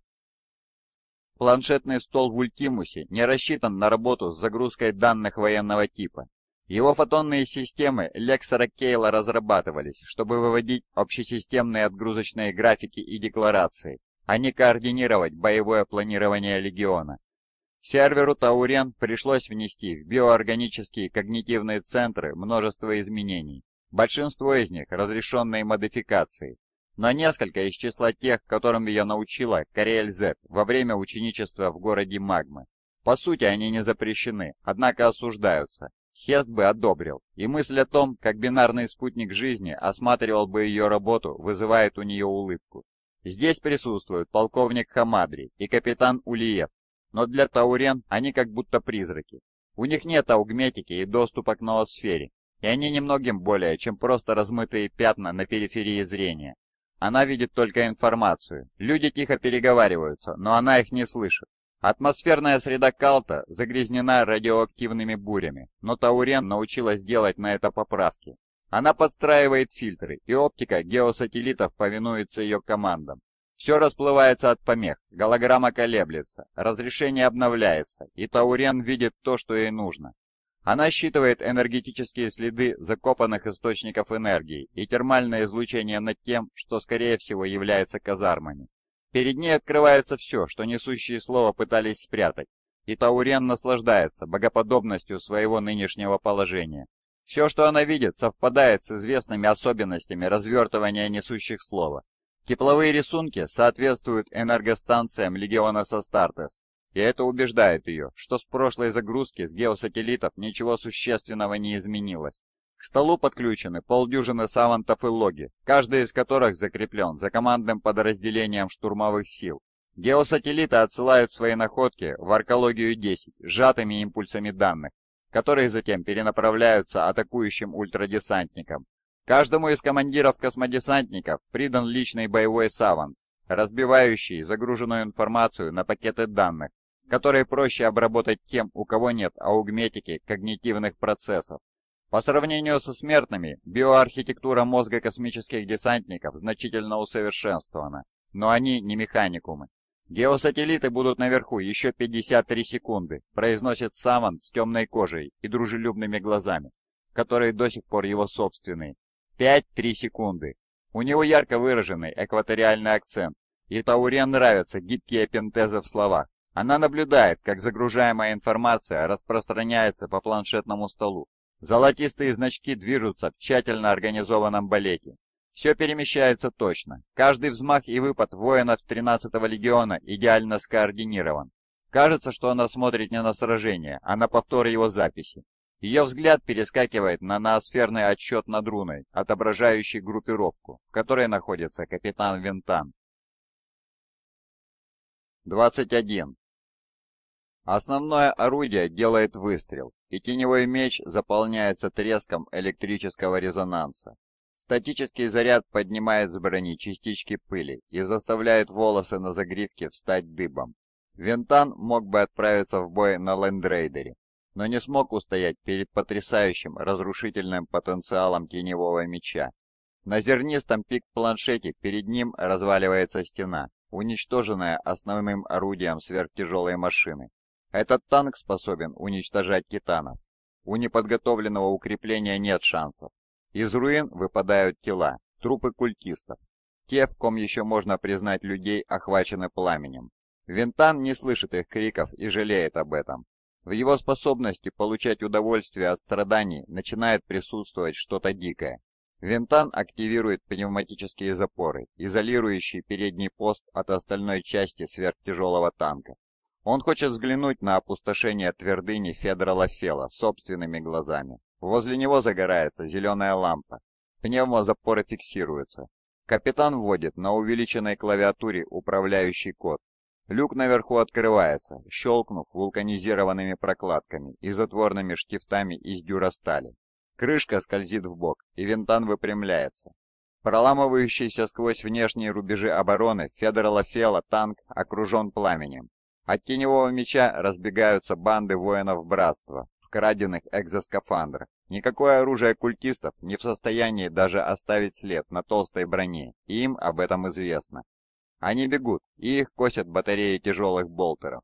Потоки лазеров и твердых снарядов срезают дезорганизованные шеренги. Из взрывающихся тел, словно геотермальные гейзеры, вырываются фонтаны горячей крови. Винтан разворачивает комби-болтер на вертлюжной опоре и тянет заряжающий рычаг. Магазин входит в приемник с лязгом, вызывающим удовлетворение, и капитан вдавливает спуск. У комби-болтера ужасающая отдача. Он больше подошел бы человекоподобным танкам вроде терминаторов. Но система теневого меча и генетически усиленное тело удерживают огонь на цели. Тела разрываются, превращаясь в мясо и хрящи. То тут, то там банды воинов обороняют свои позиции. Винтан мельком замечает железные маски, изодранную одежду и совершенно недостаточную радиационную защиту. Культисты палят из оружия, которое уступает армейскому по качеству и эффективности. Он поражается, как такому сброду вообще дали ступить на кал, и убивает их при первой возможности. Среди культистов нет несущих слова, но все, что он видел во время боев до отступления под землю, демонстрировало их полное пренебрежение смертными союзниками. Люди здесь только для того, чтобы замедлить наступление ультрадесантников и поглотить их ярость. Если план Фела состоял именно в этом, то он сильно недооценил тот источник, из которого может черпать неистовство 13-й легион. Винтант смакует зрелище того, как сотни танков ультрадесанта грохочут по адской пустоши внешних укреплений Фела, с обоих сторон от него лэндрейдеры поднимаются на дыбы на наспех возведенных земляных валах и снова падают с громовыми ударами. Вражеские воины, которые удерживали свои позиции, раздавлены гусеницами или погребены под землей. Огонь эскадронов хищников синкопирует залпы выстрелов тяжелых лазеров, а над головой по дуге проносится головокружительное количество ракет-вихрей, Эскадрилья за эскадрильей лэнспидеров мчатся над полем боя, словно смертоносные хищные птицы, обстреливая незащищенные порядки врага. Мультимелты пробивают бреши в бункерах и следом обрушиваются штурмовые отделения, которые добивают очаги сопротивления визжащими цепными клинками и пистолетами. С востока приближается пылающее облако. Оно паляет небо магмовыми зарядами, его орудия окутаны дымом и светом, Посреди укреплений поднимаются грибовидные облака. Каждый удар обращает адамантиевые стены в шлак. Рвущие воздух ракеты вспыхивают на пустотных щитах Титана, и звук его боевого горна похож на грохочущий хохот. Винтан выводит на визор тактический экран. Золотые значки сжимаются вокруг крепости Фела, словно кулак, но это только внешние рубежи. Их легко преодолеть.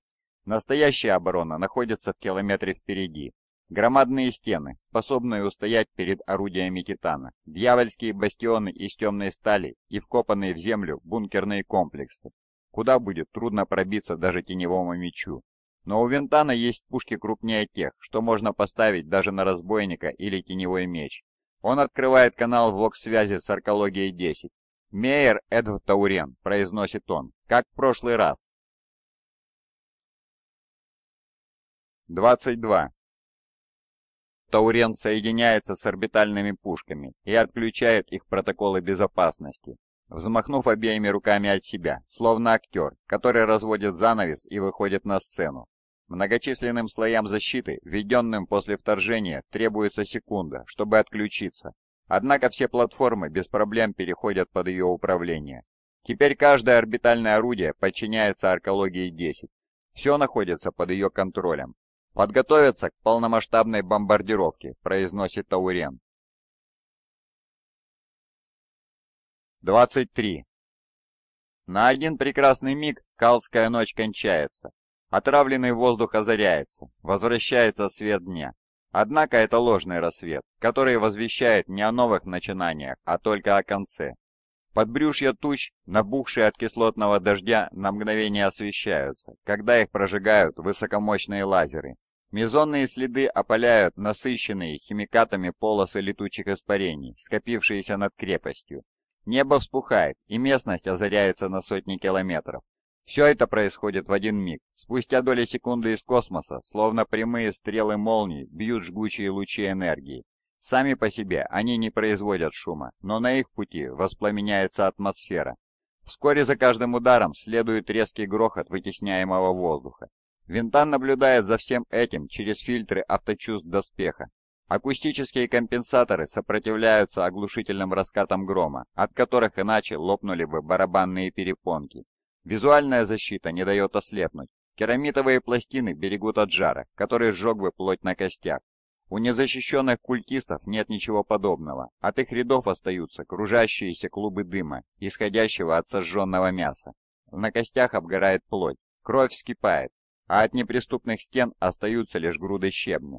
Обрушивается первый вал высокого давления, и земля содрогается. Теневой меч кренится назад на подвеске, попав под такой шквал ударов, как будто армия контемпторов долбит по корпусу гравитонными молотами. Винтан наклоняется навстречу взрывной волне, сопротивляясь сокрушительной мощи.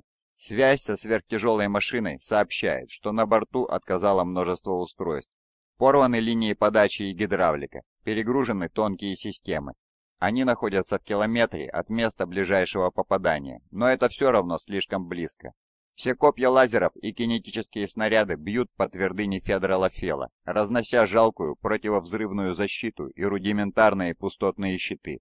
От укреплений ничего не остается. Мягкое подбрюшье обнажено, и у Винтана есть готовый к удару гарпун. Вокс взрывается взволнованными переговорами. Сотня голосов повторяет одно и то же. «Вы это видели? Трон! Там никто не мог остаться в живых. Винтан знает, что выжившие найдутся. Несущих слова будет не так просто выбить. Он вклинивается в вокс-сеть. «Нам все еще нужен практический результат», — говорит он. «Выполняйте приказы. Ультрадесантники повинуются». 24. Холл Велов с ужасом наблюдает, как горизонт озаряется от края до края. Ему известно, на что он смотрит. Испепеляющий орбитальный огонь, сконцентрированный в одном месте. Он помнит географию Калта и точно знает, по кому бьет гнев орудий ультрадесанта. «Фел», — произносит он. Мало карта кивает. Горячий ветер хлещет по обезглавленной башне, взметая плащ Кол Велофа и забивая рот командующего серым песком. Качка башни вынуждает его широко расставить ноги. Пол тревожно кренится под ногами.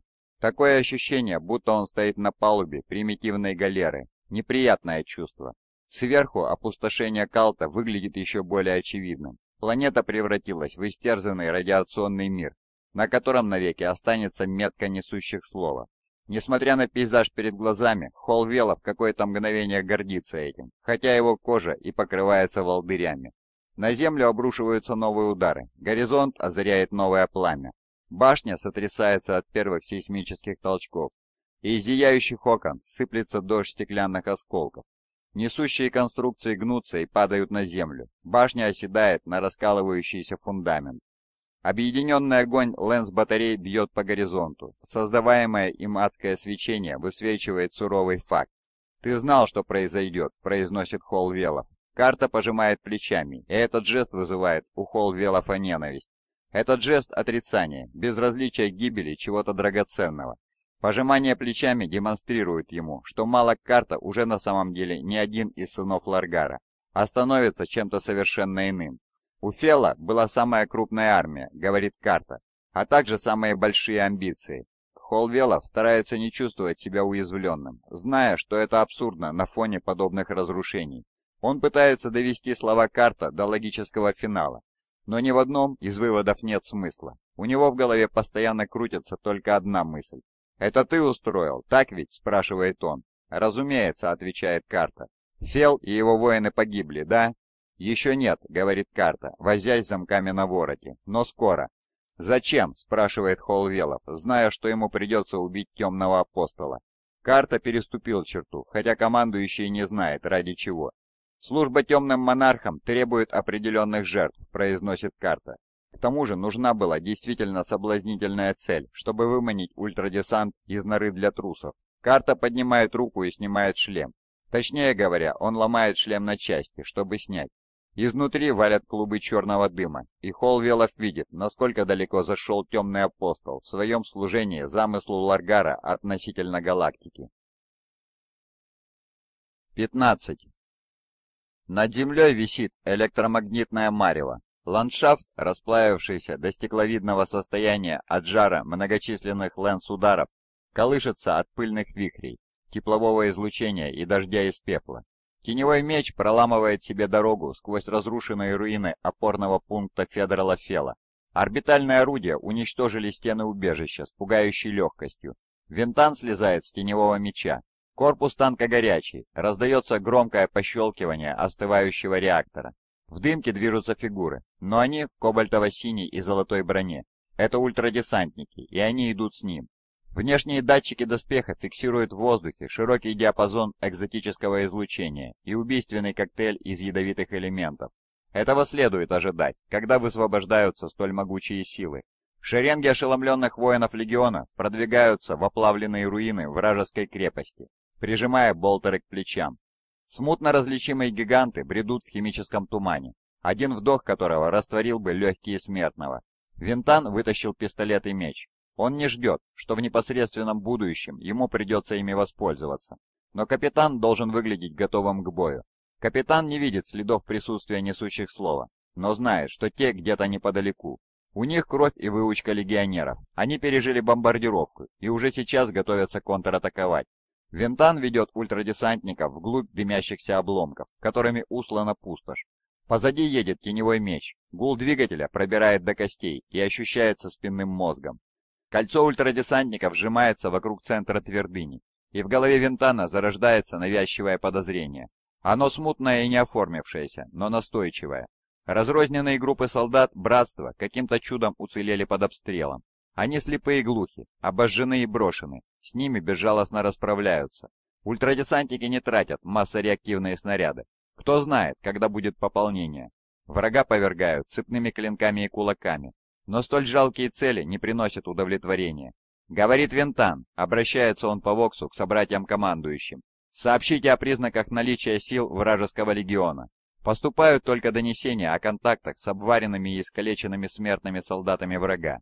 И Винтан ощущает, как его гложет мысль, что здесь что-то не так. «Где несущие слова?» – спрашивает он сам себя. «Если Федора Лафела тут нет, где же он?» В центре крепости ультрадесантники обнаруживают громадную воронку, Кошмарную преисподнюю, наполненную электрическим пламенем и сожженным мясом. Почти ничего не уцелело. То, что в первое мгновение не уничтожил обстрел, обвалилось от последующих взрывов и пожаров на складах боеприпасов. То тут, то там Винтан видит следы перегруппировки и окапывания. Но сложно различить что-то конкретное. Об этом позаботились точные удары Таурен. Основное орудие теневого меча поворачивается над головой Винтана, выискивая цель но не находит ничего заслуживающего стрельбы. В огне виден силуэт пылающего облака. Громадная машина разрушения высится над местом смерти врага. Из дымки возникает покрытый пылью и копотью воин, который вскидывает руку в приветствии. «Я думал, тут останется хоть кто-то живой, с кем можно будет сразиться», — говорит Сиданс. «Я тоже», — отзывается Винтан, убирая меч в ножны и пристегивая пистолет к бедру. «Полагаешь, они погибли при бомбардировке?» «Похоже на то», — произносит Винтан, хотя такое объяснение уж слишком удобно. «Тогда эта крепость так себе», — замечает Сиданс. Лорду Дорну нашлось бы, что сказать по этому поводу. Винтан не отвечает, слова друга подтверждают навязчивое подозрение, которое нарастало с момента первых выстрелов. Капитан замирает, когда мысли сходятся на изначальной неправильности случившегося. «Эта крепость никогда бы не выстояла», — произносит он. «Это смешно». «О чем ты?» «Зачем строить то, что мы можем за секунду сравнять с Землей с орбиты?» – спрашивает Винтан. «Зачем вообще строить над Землей? В этом нет смысла. Возможно, они не смогли найти место под землей.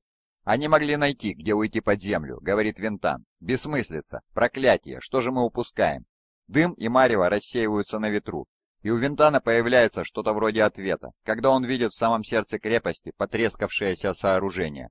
Оно похоже на укрепленный авиационный ангар и смогло устоять под обстрелом. Секции крыши провалились внутрь там, где рухнули несущие стены. Винтан не видит в конструкции защитных элементов. Это гигантский купол, украшенный сложной резьбой, с парой декоративных башенок и широким входом без ворот. Сооружение грандиозно, и Винтан понимает, что уже видел подобное. «Как думаешь, что это?» – спрашивает Сиданс. «Цитадель? Место для последнего боя?» «Нет», – отвечает Винтан, – «не цитадель. Но теперь я знаю, что это. Я уже видел такие строения раньше. Где? В монархии, произносит Винтан. Это храм. 26. Ингениум Субиака не помнит, как заснул, но явно произошло именно это. Можно понять, никто не смог бы бодрствовать так долго, как он, трудясь в постоянном полумраке, без отдыха во тьме и не отрываясь от насущного дела. Он уверен, что спит, поскольку странствует по тем же посеребренным пещерам своих кошмаров. Субяка приходил сюда ночь за ночью, погружаясь в ужасы, которые разворачиваются бесконечным циклом. От того, что картина никогда не меняется, не становится легче. Есть лишь мрачное знание о предстоящем кошмарном бегстве от тварей с многосуставчатыми конечностями и полированными стальными когтями, которые выбивают по камню тук, тук, тук. Пещера имеет все тот же странный серебристый оттенок. Она поблескивает от сырости, а за пределами поля зрения таится ставшая вездесущей угроза. Ему известно, что внешне твердые стены пещеры на самом деле вовсе не такие. Известно, что прячется по ту сторону хрупкого покрова реальности, и как бы ему того не хотелось, он не в силах избавиться от этого знания. Вокруг него, словно стремительный дым, порхают едва заметные силуэты. Субиака поспешно движется по пещерам, ожидая, что в любой момент стены начнут отодвигаться, открывая таящуюся под ними порчу. Слышны голоса, но для него в них нет смысла, и он не может ответить. С каждым шагом он чувствует, что его направляют, но не в силах сказать, кто или что. Предчувствие почти невыносимо, словно ощущение зависшего на волоске от шеи ножа гильотины. Субяка хочет проснуться, однако уже давно усвоил, что не в силах контролировать неотвратимый ход кошмара. Ну конечно, он слышит слабое постукивание, как будто в стенах находятся крысы. Тук, тук, тук. Субяка бежит, снова и снова слыша пощелкивание когтей. Тук-тук-тук-тук-тук-тук-тук. Уже громче, повсюду вокруг него. Это что-то новое, Кошмар переходит на следующий уровень ужаса. А затем, как будто к подложке стен из папье-маше поднесли огонь, они начинают распадаться, чернеть и закручиваться в спирали, словно гаснущие угольки. Стены сползают с уже знакомой ржавой решетки, которая их поддерживает, и на той стороне снова видна ужасающая пустота. Она бурлит, словно глубины чудовищно оскверненного океана, насыщенного грязью и мерзостью целого биологического вида. Его содержимое не чуждо, это не кошмарный побочный продукт жизнедеятельности какой-то расы, враждебной человечеству. С ясностью, которой он не желал, Субяка понимает, что это океан безумия принадлежит людям. Это они порождают царство сумасшествия. Ингениум слышит, как когти демонических преследователей снова прокладывают дорогу, и бежит. На сей раз они не просто сзади, они со всех сторон. Стена впереди прогибается, когда к решетке прижимается противоестественная громада чего-то, и Субиака видит блестящие клыки и янтарные глаза, каждый из которых рассечен кинжаловидной щелью цвета оникса. Прореха ширится, и в пустую пещеру врывается стая тварей с когтями из полированной стали. Клинки сверкают, предвещая убийство. Плоть сотворена из тех, кого он знает и любит, его близких, лишенных кожи. На вздымающихся боках зверей вопят от боли лица, конечности стали лапами, сросшись в отвратительные биологические рудименты. Черепа твари из металла, они влажно поблескивают сквозь приклеенную кожу. Лица растянуты, но он узнает их и издает горестный вопль утраты. Субяка бежит, а звери дышат ему в затылок. Они преследуют его, играют с ним. Они могут поймать и убить его, когда захотят, но охота слишком приятна. Он чувствует их гнилостное, голодное дыхание. Субяка знает, что есть лишь один выход, и он мчится туда, задыхаясь на каждом шагу и надеясь, что доберется до огромных циклопических врат с золотой печатью. Лишь врата дают убежище. Субяка просыпается, в его ушах звенят крики демонов, и ничего не меняется.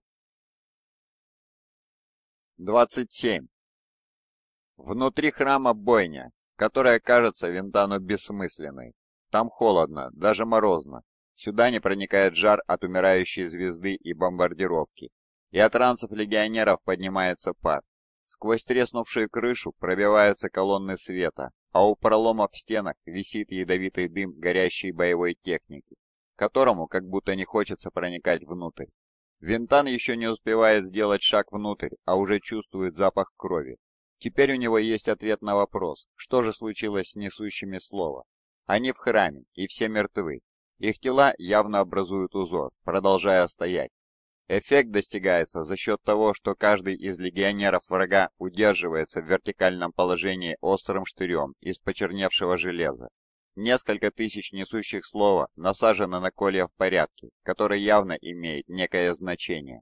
Для Вентана загадка, какое же именно. Эйкос Ламиат и Киуз Селатон ведут своих воинов среди колонн мертвых несущих слова. Селатон несет штандарт четвертой роты, прославленное и потрепанное напоминание о том, что они потеряли и за что сражаются. Возле Ламиада, будто личный телохранитель Тетрарха, шагает контемптор Телемехр. Вращающиеся стволы штурмовой пушки издают визг. Оружие поворачивается влево-вправо в поисках живых целей. Сиданс стоит рядом с Винтаном. Визор шлема не позволяет разглядеть выражение лица капитана, однако все ясно без слов. «Кто это сотворил?» – спрашивает Сиданс. Он еще не понял, в отличие от Винтана. Они сами это с собой сделали. Сиданс резко оборачивается. Винтан не знает, что сильнее пугает второго капитана. Мысль, что воины совершили над собой подобное, или же что Винтан понял достаточно, чтобы об этом догадаться. Он качает головой и идет дальше. Внутри храма находится около тысячи ультрадесантников, лишившихся дара речи от этого зверства. Никто из них не в силах осознать смысл увиденного. Он слишком чужд для их понимания и не соответствует ни одной из тех военных моделей, которым их учили. Винтан подходит к ближайшему несущему слово и приподнимает тому голову. На мертвеце нет шлема, лицо изрезано глубокими ударами острого клинка. Оно искажено смесью ужаса и истовости. У символов странная геометрия, по непонятным причинам на них неприятно смотреть. Чем ближе Винтан подходит к центру храма, тем понятнее становится узор, выложенный насаженными на коле телами. Группы ультрадесантников естественным образом сходятся, приближаясь к середине сводчатого помещения. Винтан чувствует, что температура продолжает понижаться. «Они располагаются равноудаленными колоннами», – произносит Ламиат. Его лицу, наполовину состоящему из плоти, а наполовину из треснувшей керамики, удается передать то отвращение, которое все чувствуют. Расходятся наружу от центральной точки. Из чего следует, что посередине нечто важное, говорит Винтан. Неф храма ведет к центральному алтарю, соглашается Ламиат, месту поклонения. Поклонение, буквально выплевывает Сиданс. Я думал, мы их от этого вылечили полвека назад. «Урок явно не был усвоен», – произносит Ламиат, указывая уцелевшей рукой на жертвенное побоище. Конечность, которую он утратил в начале боя, можно было восстановить, а лицо починить. Доступные технологии и мастера, однако Ламиат предпочел остаться таким, как есть. Миф о нем стал важен для Калта, и Тетрарх охотно пошел на подобную жертву. Винтан питает Кейкосу Ламиаду высочайшее почтение и надеется, что будет столь же сильным, как Тетрарх, когда для него настанут такие времена. «Так что в центре?» – спрашивает Силатон, держа штандарт рядом с собой. «Я не вижу алтаря». Силатон прав, там нет алтаря, только вырытая яма, из которой неторопливо струятся языки тумана. Винтан идет впереди, пальцы сжимают рукоять меча. Здесь все уже мертвы, но присутствие оружия в руке всегда придает уверенность в себе. Подойдя к яме, Винтан видит, что она уходит вглубь на 3 метра, а посередине находится еще одно пронзенное тело, несущее слово, облаченный в багряный доспех, который украшен трепещущими на ветру свитками с обетами и выбитыми золотыми надписями. Это не рядовой воин. Каждая пластина и грань созданы вручную мастером-оружейником и отполированы с преданностью, которой может удостоиться лишь высокопоставленный полководец.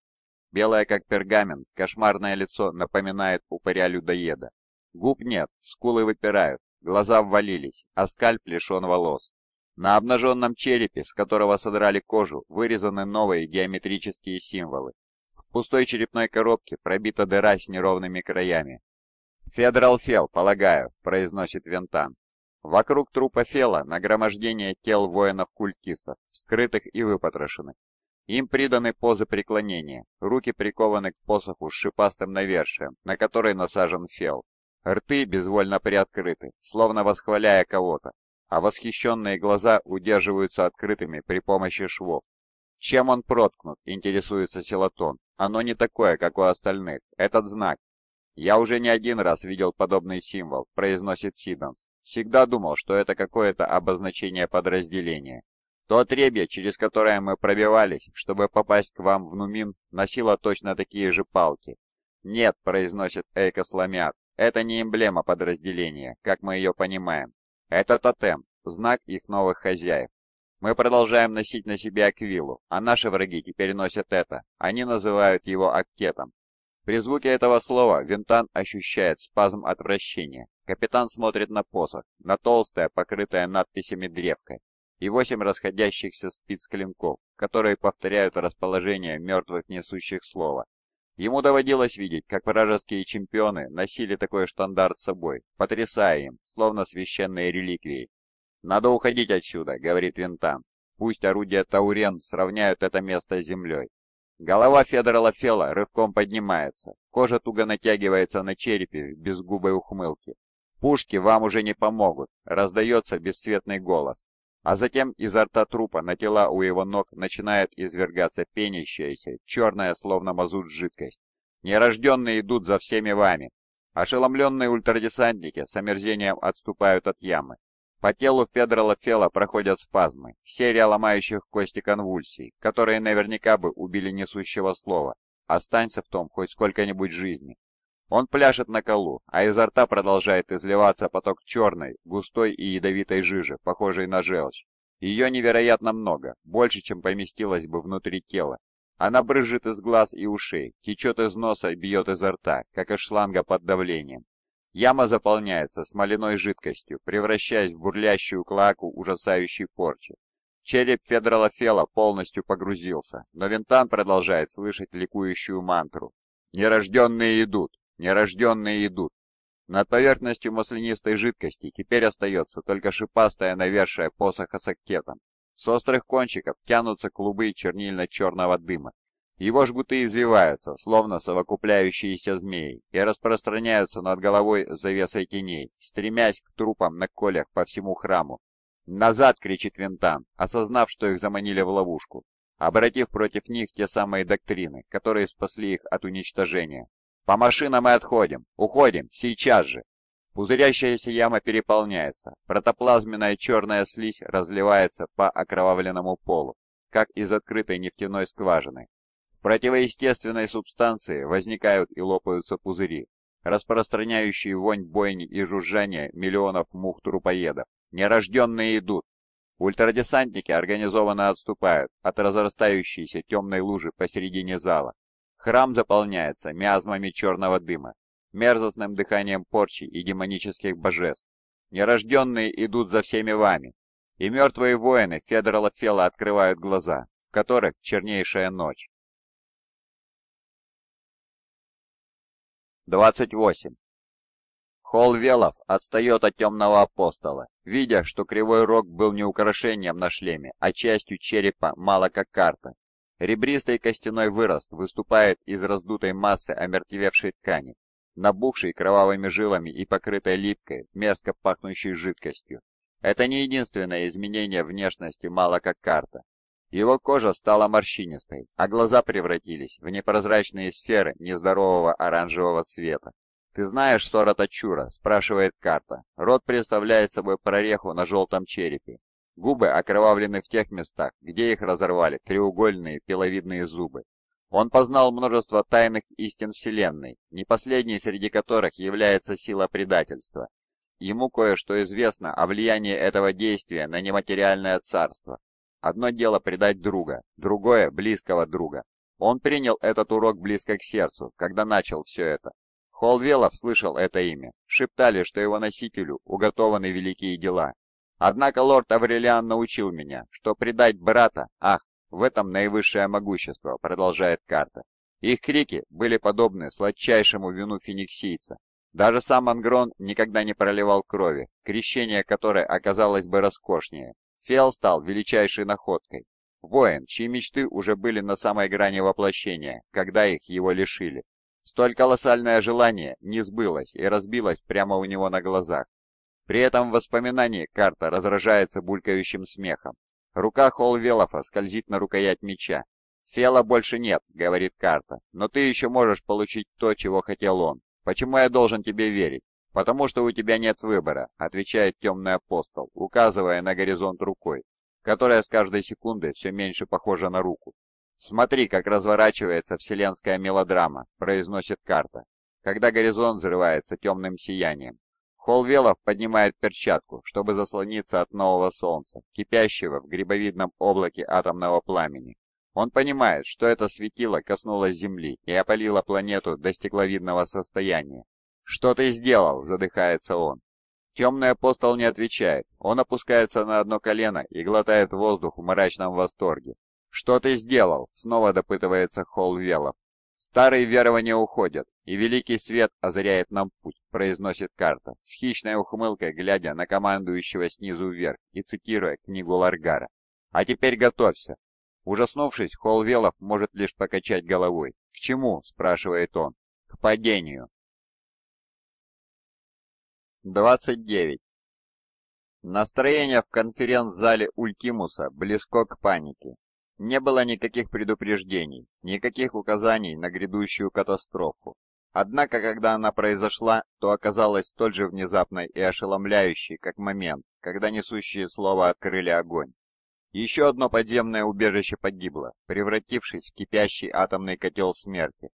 Даже без помощи геосателлитов Авгура Аркологии-10 вполне способны засечь невообразимый скачок радиации на Западе. На планшетном столе сводятся воедино показания пикторов и счетчиков радиоактивности. А Таурен наблюдает, как на западном горизонте образуется громадное кучевое перооблако озаренного пламенем дыма. «Император защищает», — схлипывает капитан Улиет, сжимая что-то висящее на шее. «Он есть свет и путь. Мы только что потеряли еще одно, так?» — спрашивает Хамадри, крепче держась за край планшетного стола когда стены Ультимуса содрогаются от первых толчков, разошедшихся по литосфере. Таурен кивает. Она слишком занята тем, что просеивает мириады входящих данных от подключенных наблюдателей Авгуров. Орбитальные сканы комбинируются с наземными изображениями, чтобы составить более полную картину того, что только что оказалось потеряно. Зал заполняет пробирающий до костей гул, Поверхность Калта искорежена и разодрана силой, как теперь понимает Таурен, подземного взрыва, которому хватило мощности, чтобы пробиться на поверхность. Это только первые ударные волны, расходящиеся от него. Дальше будет хуже. «Которая?» – спрашивает Ульет. На пол со стуком камней падают пыли обломки плит потолка, но его стальной голос не дрожит. «Магнези? Габниус? Проклятие! Которое?» Порыв ветра прошел, и капитан вновь по-солдатски отрывисто приказывает. «Провожу триангуляцию», — отвечает Таурен. Изображение атомной тучи на планшетном столе меркнет, и на его месте появляется базовая топографическая карта поверхности Калта. Данные сводятся, показания сверяются. На западе начинает яростно мигать значок. Хамадри и Улиет озадаченно поднимают глаза, но Таурен столь же изумлена. «Радиал Ураник», — произносит она, словно до сих пор не в силах поверить в неоспоримый вывод. «Его больше нет, уничтожен». «Но», — начинает Улиет. «Это холл Велов», — заканчивает Хамадри, и на аркологию 10 обрушивается основная ударная волна. 30. Они стаскивают себя с кольев, которыми пригвождены к земле. Броня раскалывается, мертвая плоть рвется, Винтан не видит, чтобы из громадных дыр в телах вытекала хоть сколько-нибудь крови. Вся жидкость, которая осталась внутри, давным-давно свернулась в венах. Несущие слова двигаются скованно, словно забыли, как ходить. Или только учатся этому. Нерожденные. Термин неизвестен Винтану, однако капитан немедленно понимает его значение.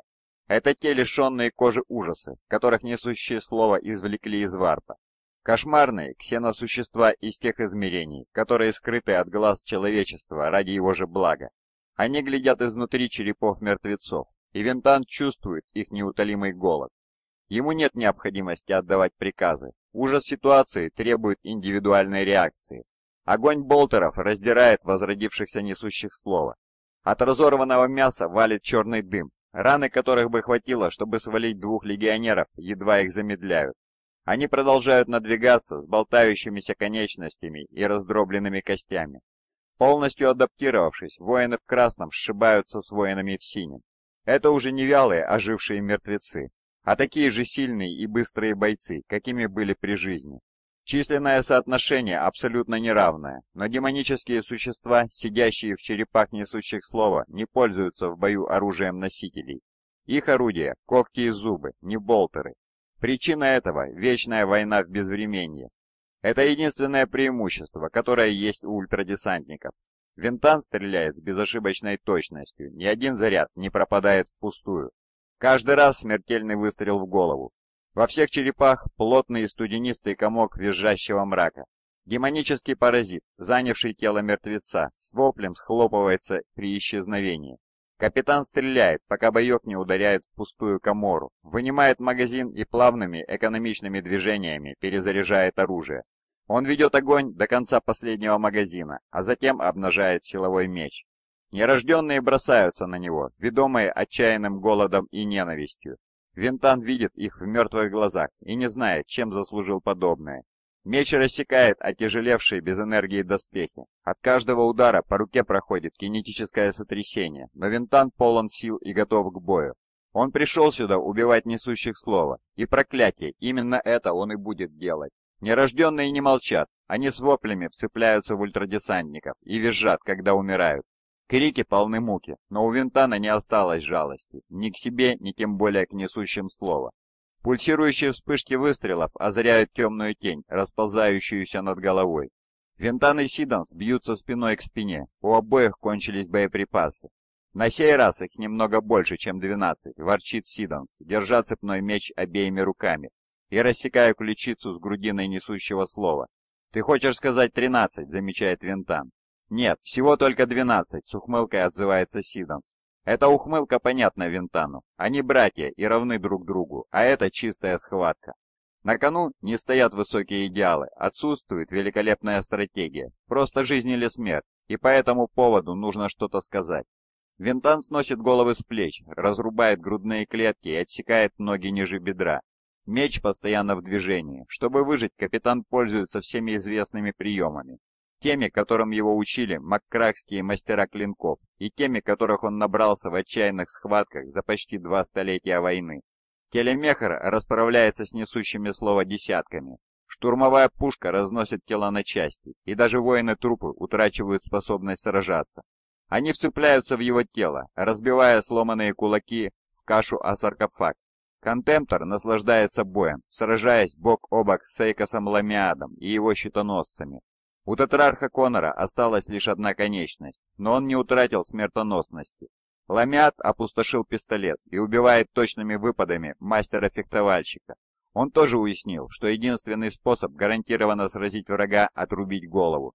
Силатон и его отделение несут штандарт к сводчатому проходу, через который они вошли. Сержант не отступает, а расчищает коридор для остальных. Винтан выкрикивает команду к отходу. В него врезается что-то огромное и багровое, сшибая на земь. Вниз обрушивается бронированный сапог, и капитан откатывается в бок.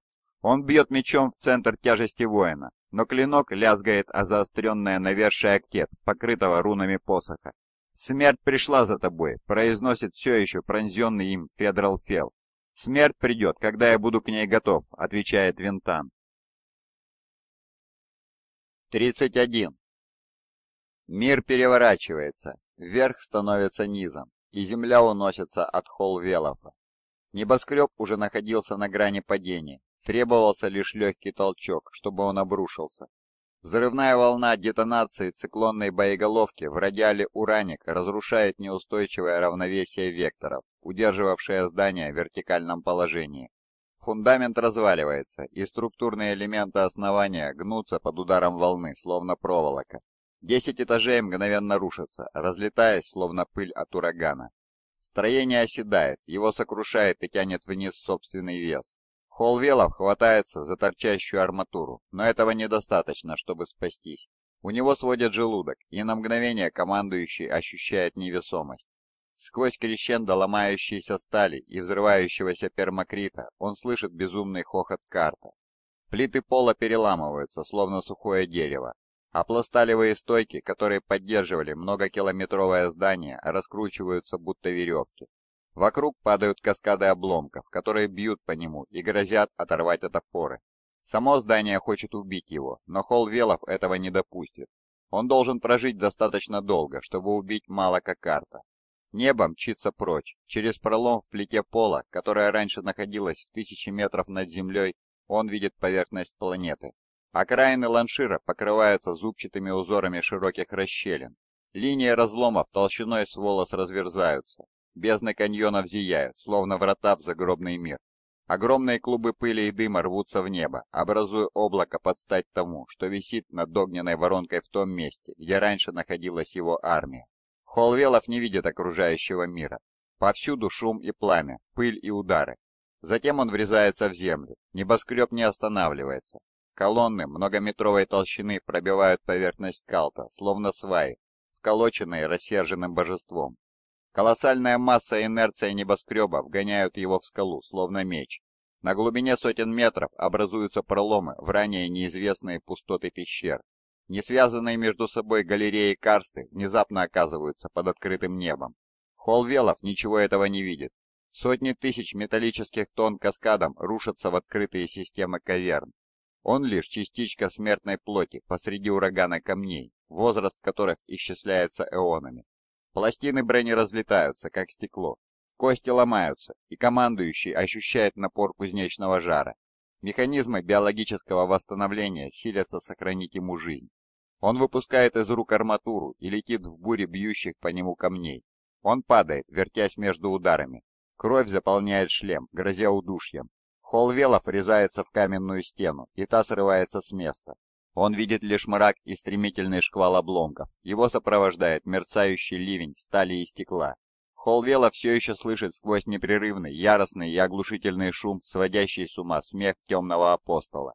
Наконец полет заканчивается. Изломанное тело камнем падает в ледяное озеро с темной водой.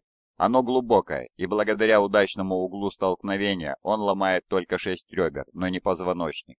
Леденящая вода окутывает его, заливая горло и легкие. Холвелов давится и кашляет. У него шок от сильного холода после дезориентирующего падения. Включаются автономные реакции. Гортань изолирует основные легкие. Им на смену приходят имплантированные и генетически усовершенствованные дыхательные органы. Они прокачивают скудный остаток воздуха и направляют кислород прямо в мозг. Проходящие по всему телу электрохимические разряды рывком возвращают его к жизни. Самопроизвольная фибрилляция снова заставляет конечности работать. Холвелов тщетно барахтается, ему не удержаться на плаву, доспех тянет вниз. Броня легионеров не пропускает воздух и, как следствие, воду. Однако его доспех разбит и расколот. Он стремительно заполняется водой, вес огромен. Командующий силится бороться с набирающим жидкость грузом, но его тело слишком сильно повреждено, а дух сломлен. Холвелов погружается вниз, с его губ пенясь срывается поток пузырьков. В воду ныряет рука, и в сломанный край наплечника цепляется когтистая лапа. Она покрыта чешуей и похожа на звериную. Пожелтевшие когти оставляют на керамите глубокие борозды, волоча его обратно на поверхность. Холвелофа швыряют на берег из обломков и щебня. Командующий судорожно пытается вздохнуть. Он переворачивается и изрыгает заполнявшую легкие воду которая так холодна, что обжигает горло. Его тошнит, пока тело полностью не освобождается от жидкости. Во рту ощущается привкус крови и желчи. Холвелов чувствует, как внутримышечные сфинктеры дыхательных путей переключаются на обычный режим. Холодный воздух еще никогда не был так приятен на вкус. От тела поднимается пар, кожа горяча на ощупь. Невероятная физиология излечивает повреждения, которые должны были немедленно его прикончить. Чудо, что он вообще жив. Холвелов поднимает голову, чтобы посмотреть, сколько он пролетел. В воздухе пыльная дымка, через неровную прореху в потолке пещеры падает дождь обломков. Поролом в скале, будто грубыми швами, затянут паутиной стальных решеток небоскреба. Высокопрочные провода и кабели передачи данных болтаются, словно джунглевые лианы. Из-за мрака сложно оценить размеры пещеры, но она невелика. Возможно, 100 метров в самом широком месте, в озеро падает все больше обломков, и уровень воды повышается. На краю водоема сидит Малак-карта. Невероятно, но падение не причинило ему вреда. У его ног плещется ледяная вода. Холвелов замечает, что с темным апостолом что-то не так.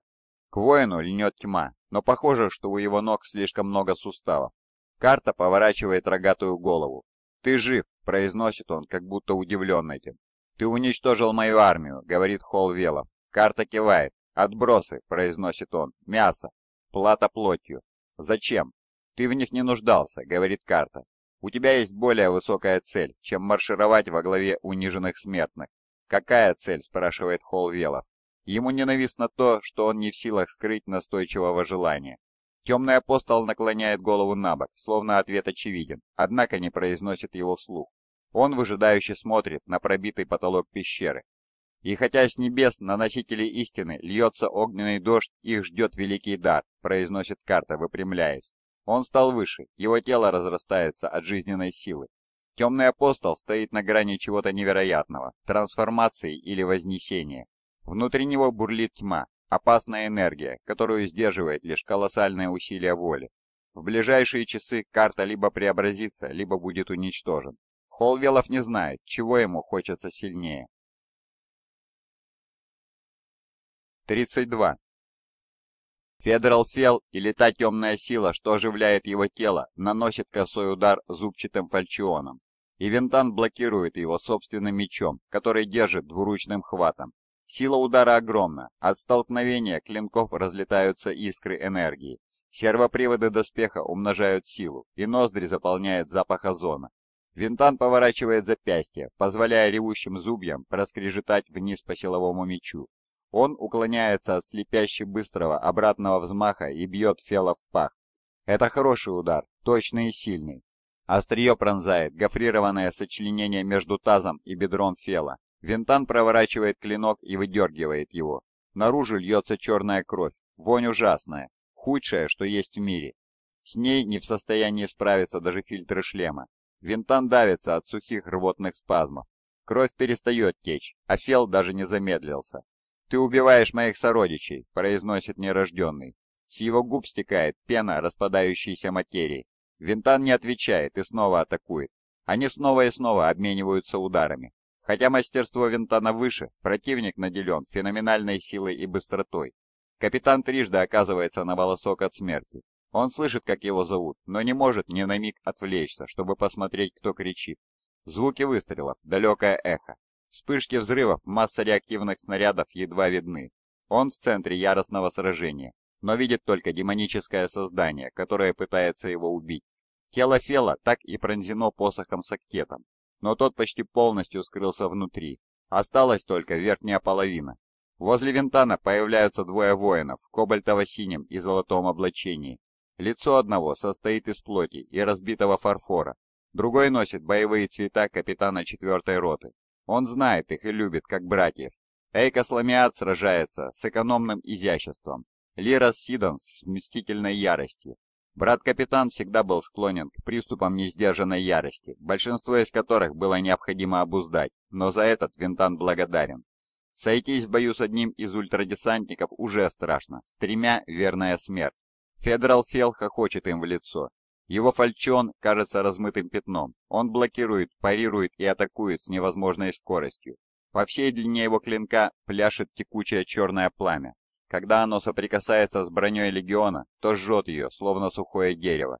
«Спаситель, копейщик и калека!» — хихикает Фел, разворачиваясь и впечатывая локоть в скулу Ламиада. Лицевая пластина трескается еще сильнее. «Варп знает вас!» «Ублюдок!» — выкрикивает Сиданс, бросаясь вперед. Его меч рассекает левую руку Фела. Наружу брызжет гнилая кровь и множество корчащихся сегментированных существ, которые извиваются словно черви. Сидон задыхается от смрада, и фальшион Фела взлетает вверх, чтобы снести голову капитану. Винтан блокирует клинок и бьет сапогом в живот Фела. Несущее слово отшатывается от силы удара. В острых окончаниях посоха отражаются вспышки выстрелов. В нерожденного попадает что-то быстрое и мощное, шальной снаряд или рикошет. Демоническое лицо по ту сторону глаз Фела содрогается. Его тело поражено болью, Изо рта хлещут брызги бурлящей черной жидкости. Несущий слово шатается, и Винтан видит в этом свой шанс. Капитан разворачивается, обходя защиту Фела и вгоняет меч тому в нагрудник. Клинок, по которому струятся молнии, пробивает керамид, плоть, кости и ночную субстанцию. Острие выходит из спиной пластины доспеха Фела, но металл клинка состарился на тысячу лет. Посеребренная сталь обратилась в изъеденную коррозией ржавчину, которая рассыпается хлопьями праха, пробыв в реальном мире считанные мгновения. Ответный удар кулаком отшвыривает Вентана назад, и тот снова слышит, как кто-то выкрикивает его имя. Он сильно бьется о землю и пытается подняться, что-то его удерживает. Его прижимает к земле Эйкос Ламиат, маска которого расколота, а лицо кошмарно растерзано. «Тетрарх!» — кричит Винтан. «Что?» Ламиат качает головой. На них падает огромная тень. Гигант в от смолы керамике. Титан, который рухнул с неба и выжил, чтобы поведать об этом. Одна рука оканчивается крушащим кулаком, другая — чудовищной пушкой с вертящимися стволами. Из дул с ревом вырывается огненный ураган. За считанные секунды отстреливаются сотни зарядов.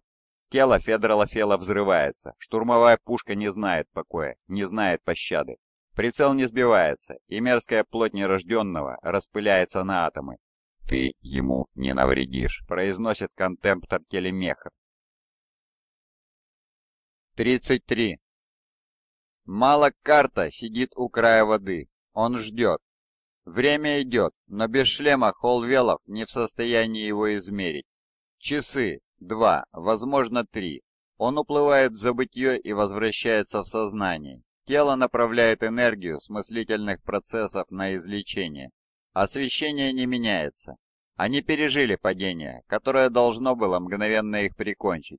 Из чего Холвелов понимает, что Темный Апостол продолжает планировать конец игры. И все же они тратят время в этой пещере, ничего не делая. Если нужно устроить разрушение, то Холвелов хочет быть готовым. Намереваясь действовать, он ищет выход. В 50 метрах слева в стене виден широкий разлом, который ведет вглубь скалы. Возле него на земле что-то поблескивает. Холвелов заставляет себя встать. Ноги пронзает боль от множества переломов. Он подавляет ее и ковыляет по краю озера к пролому. Оттуда тянет затхлым воздухом. Холвелов делает глубокий вдох. Его нейроглотис улавливает химические следы сваренной стали и застывающего пермакрита. Он присаживается у пролома и поднимает блестящий предмет земли, вертя его в руках, словно драгоценную реликвию. Это картографический дрон, луковицеобразный цилиндр с репульсивным полем и множеством ауспиков. Энергоячейки практически истощены, раздвижные конечности подрагивают, словно усики умирающего насекомого. Мигание красной лампочки на фронтальном сегменте указывает Холвелову, что машина безуспешно пытается снова связаться с управляющей станцией. Технодесантник бы с легкостью починил дрона, но Холвелов не умеет обращаться с машинами. Ему требуется секунда, чтобы осознать значение находки. Холвелов оборачивается, когда пещеру заполняют брызги от грохочущих всплесков, как будто в озеро падают валуны. Малок карта поднимается на своих ногах со странными суставами, он стирает с лица холодную воду, а сверху в воду падают новые крупные объекты. Поверхность озера бурлит и бьется о скалы. К берегу движется след из пузырьков. Холвелов наблюдает, как Эриэш Кигал и его терминаторы восстают из темных вод, словно утонувшие моряки, возвращающиеся к противоестественной жизни. С помятых пластин брони льется вода, Каждый из них подходит к темному апостолу и принимает помазание тремя ударами крест-накрест по нагруднику. Холвелов не знает, как, но он чувствует важное значение тройной отметки. Затем из воды возникает раздутая фигура из твердого красного металла, глубинный левиафан, дредноут Зу Гуннара. С саркофага капает черная вода и нечто напоминающее ручейки расплавленного металла, который стекает по бронированным бокам. Кажется, будто дредноут плавится, словно темная пустота внутри пожирает материю, из которой состоит его тело. Он все еще несет оружие, похищенное из СВ-427 Проксор. Символ биологической опасности во мраке пещеры выглядит светочем надежды. «И пожиратель жизни родится в чреве зверя», — произносит карта, поворачиваясь к Холл-Велофу. Темный апостол указывает в сторону разлома в скале, где Холвелов нашел поврежденного дрона. Раздвоенный язык из сморщенной плоти облизывает неровные зубы. Холвелов знает, что апостол чувствует то же, что и он. Развороченная земля, взорванная скала, строительство, вход. Раскрытый отворит путь, говорит карта, и заблудший поведет праведников на бойню. Холвелов поднимает картографический дрон, его переполняет целеустремленность, и он швыряет машину в воду. Та погружается во тьму, красный огонек угасает, погружаясь на дно озера. Холвелов снова переводит взгляд на разлом, ведущий в сердце вражеского логова. «Чрево зверя?» – спрашивает он, забыв о боли от многочисленных ран. «Мы – тот клинок, что вскроет его», – обещает Малаккарта. 34. Субяка не в силах вырваться из схватки кошмара. Он бодрствует, ему об этом известно, но Ингениум жалеет, что не спит. Кошмар последовал за ним в реальный мир. Благообразное румяное лицо его пожилой жены сминается, словно пергамент. Оно поражено болезнью и осыпается хлопьями. Даже у детей, мальчишек, едва годящихся по возрасту для службы в молодежной ауксилии, следы натиска времени. Полуодетый Субяка выскакивает из жилища и видит, что сбылось все то, чего он страшился. За стенами Ультимуса миллиарды тонн скалы, защищавшие их, превратились всего лишь в тонкую, как бумага, ширму из рассыпающегося пепла и проволоки. Преграда столь хрупка, что Ингениум не в силах смотреть на расплывающихся по ту сторону невообразимых созданий, темных, будто океан. Планета шевелится и скрипит, Каждый порыв порожденной пустотой бури срывает с мира материю. Субяка кричит, но его слова уносят холодные ветры, не имеющие начала в пространстве и времени. Вокруг него тысячи и тысячи лиц, но он видит их подлинную сущность, гниющие марионетки, которые с каждой секундой становятся все хуже. Толпа неведающая, насколько близка гибель. Тук, тук, тук. Субяка снова слышит полированные стальные когти тварей, они пробили границы сна и идут за ним. Прерывистый звук раздираемой ткани, с которым ужасные лапы рвут измерения, отдает скрежетом в позвоночнике, и ингениум срывается с места. Израненные лица вопросительно поворачиваются к нему, их речь – булькающий предсмертный хрип. Он проталкивается мимо, сшибая многих на земь. Из земли, ощутив близость добычи, пробиваются влажные когти и миножьи пасти, Никто их не видит, все глухи к предостерегающим воплям Ингениума. Субяка бежит в глубины, прочь от множества ждущих смерти. Он мчится мимо мест, где трудился с тех пор, как нашел прибежище в Аркологии 10. Бежит, пока конечности не начинает обжигать кислота, а легкие не заполняются желчью. Звери-охотники рядом, он чувствует, они близко, и не осмеливается оборачиваться. Зрелище парализует его, есть лишь одно спасение Субяка слышит позади себя голоса и не обращает на них внимания. Наконец он добирается до избавления, циклопических врат, закрытых загадкой заводного ангела, и от облегчения чуть не впадает в истерику.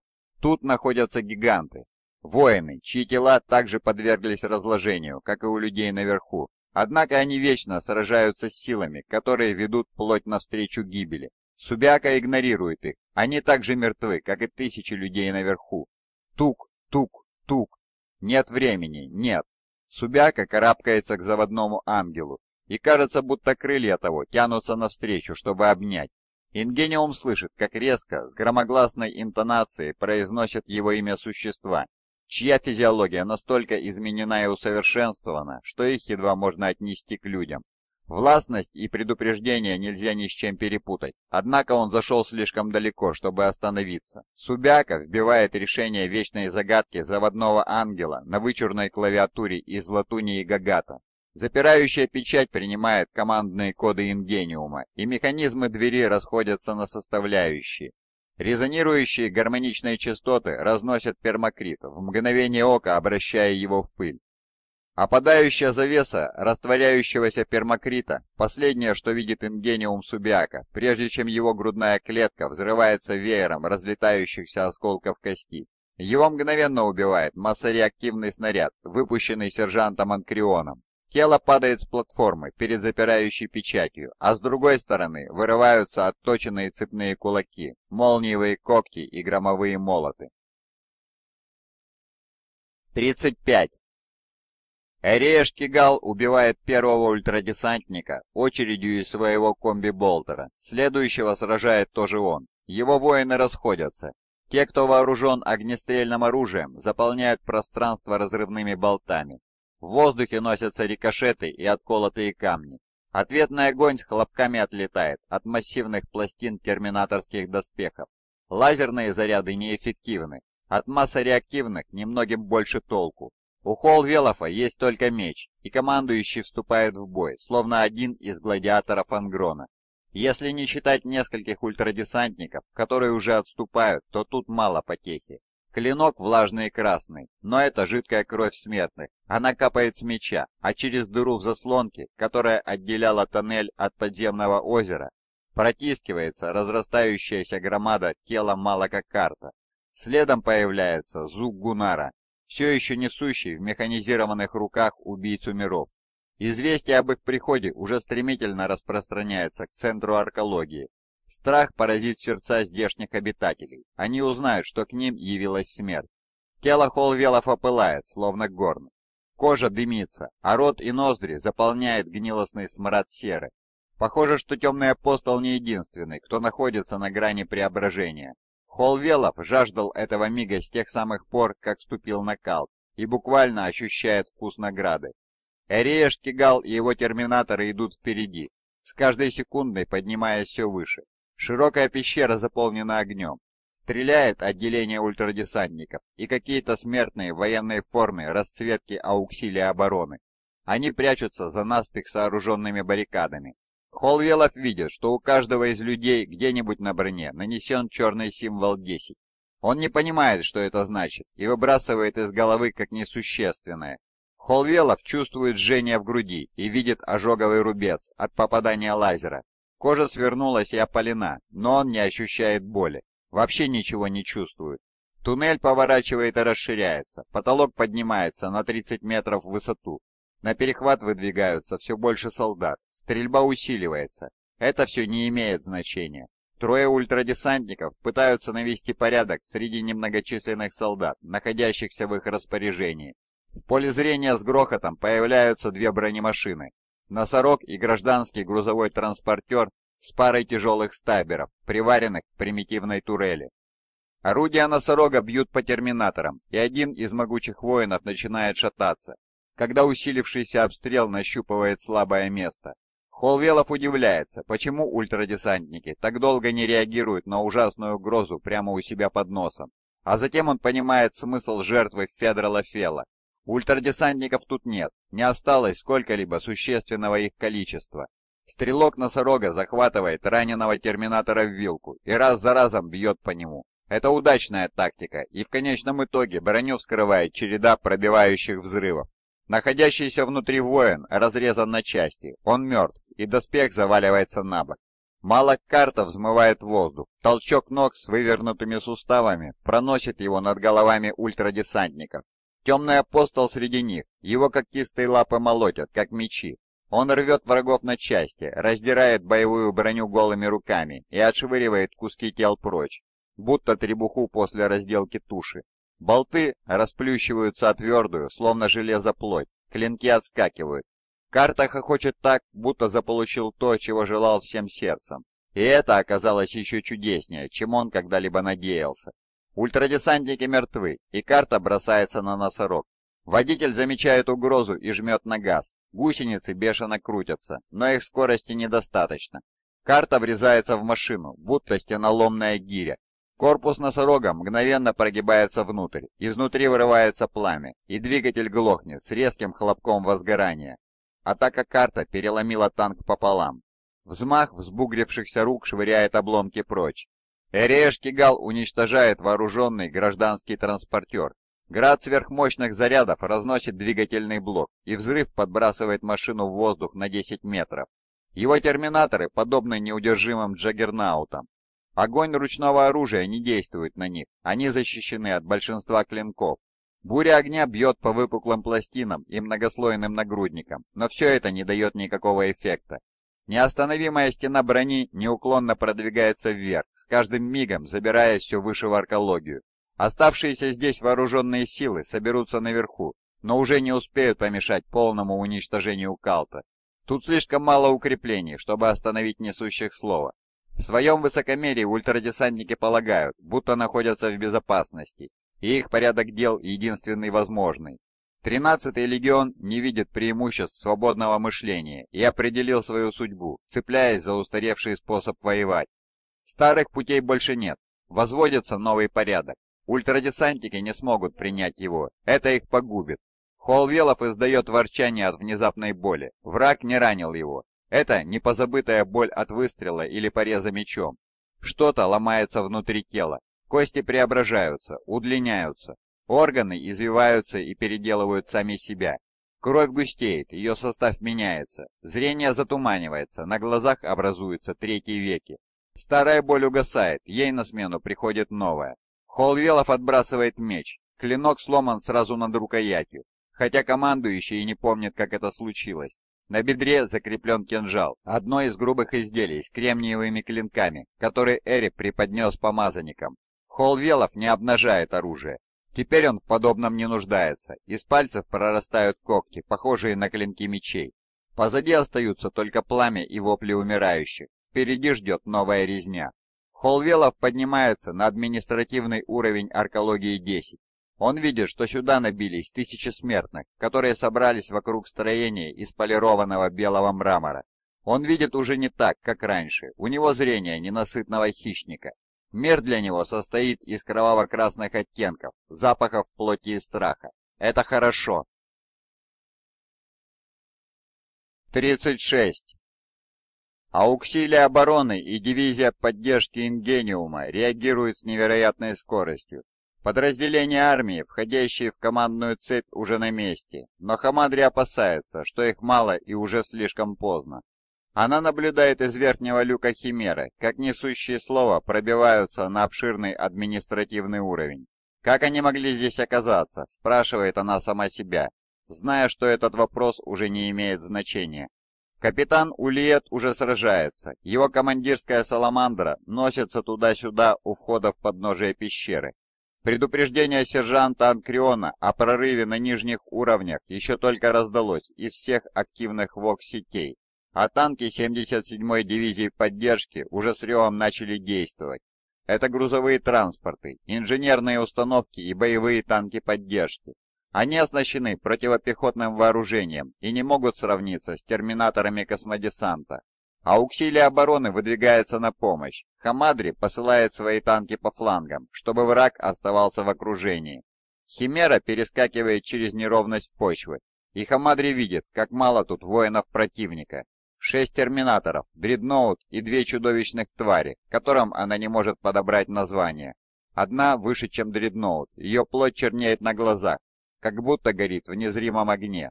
Другая, сгорбленное, разросшееся создание, из туши которого торчат куски кроваво-красной брони.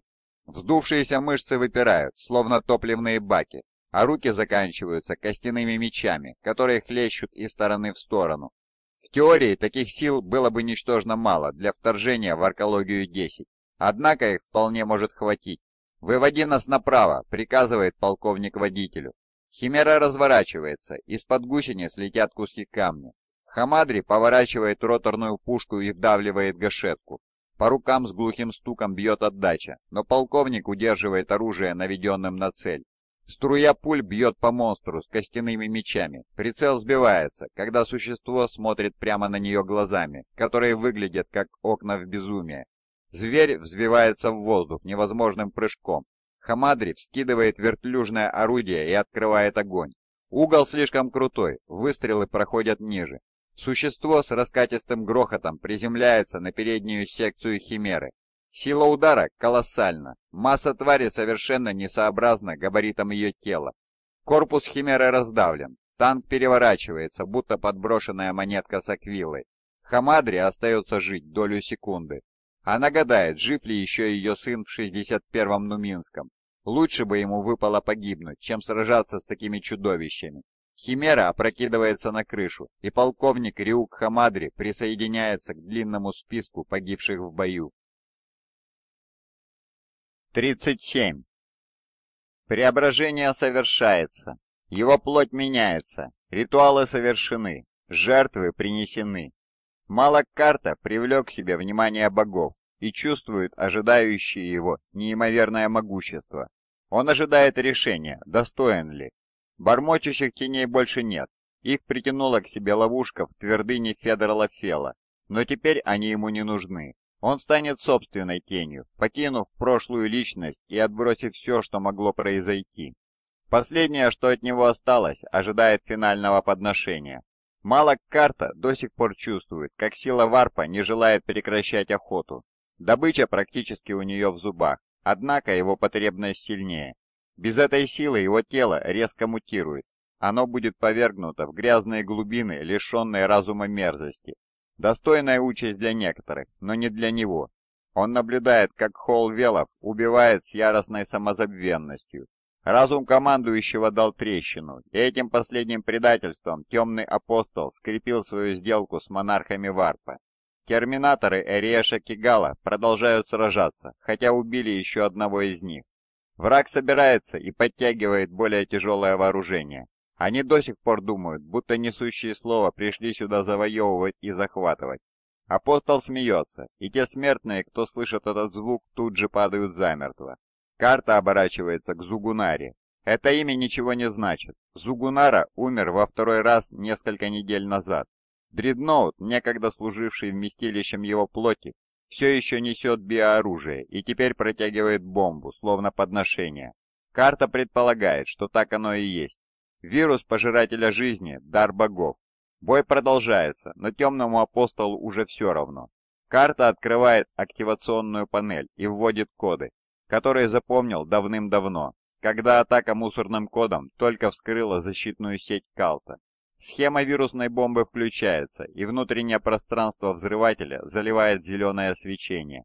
Череп шестерня механикума и ультима 13-го легиона зловещие и предостерегающие вспыхивают. Возможность немедленного подрыва отсутствует, есть только предустановленный таймер. Это ничего не изменит. Карта отменяет протоколы безопасности, и внутри бомбы снова звенят предупреждающие сигналы. Темный апостол не обращает на них внимания, поворачивает последний активатор и отламывает его. Для сброса отсчета есть несколько предохранителей и дублирующих систем. Карта уничтожает их все, Бомба передает по множеству вокс-каналов сигнал окончательного отсчета и раздражается ревом тревоги, который ни с чем не спутать. Подобные предупреждения бессмысленны. Все, кто находится достаточно близко, чтобы их услышать, погибнет в течение нескольких минут после высвобождения вируса. Темный апостол видит, как имперские солдаты осознают, что именно он сделал. Те, кто не понял угрозы, по предупреждающему верещанию бомбы узнают, что оказалось среди них по Воксу, Солдаты разворачиваются и бегут. Бронетехника жжет двигатели, включая гусеницы на задний ход. Паника и ужас, практически всеобъемлющий. И карта разражается ревущим хохотом от зрелища того, как хваленая ультрамарская дисциплина рушится перед лицом очевидной смерти. Несколько храбрецов бегут к бомбе. Возможно, они думают, что смогут ее обезвредить. Они заблуждаются. Темный апостол чувствует, как в глубине его преображающейся плоти окрепло соглашение с Варпом. Его тело подготовлено, и теперь может произойти слияние материального и духовного. Карта поднимает руку и видит, как кончики когтей окутываются серебряным мерцанием. Сама его плоть стала ножом, которым можно рассечь пределы измерений. Он ощущает, что это позаимствованная сила, сиюминутный дар, позволяющий заключить союз с Варпом. Карта рубит рукой по воздуху, и материальная граница Вселенной расступается перед ним. Ядовитый ветер вырывается из глубокой раны, врат во владение богов и чудовищ. Скоро ему суждено стать и тем, и другим. Он ощущает, как гибнет еще один из терминаторов Кигала. Его чувства вышли за пределы всего, что он знал раньше, и это лишь начало вознесения. Темный апостол шире разводит колышущуюся прореху, пробуя на вкус темные обещания миазматической пустоты с той стороны. Теперь она станет его миром. Она, а не безвкусный материальный уровень смертных. Однако перед тем, как шагнуть внутрь, Малок Карта испытывает нечто такое, что, как он думал, давно покинуло его на колхидских песках. Он испытывает сомнения. Карта отворачивается от завывающих врат и видит, как в пещеру стремительно влетает пара лэндспидеров, покрытых следами радиации. Их двигатели перегреваются и коптят.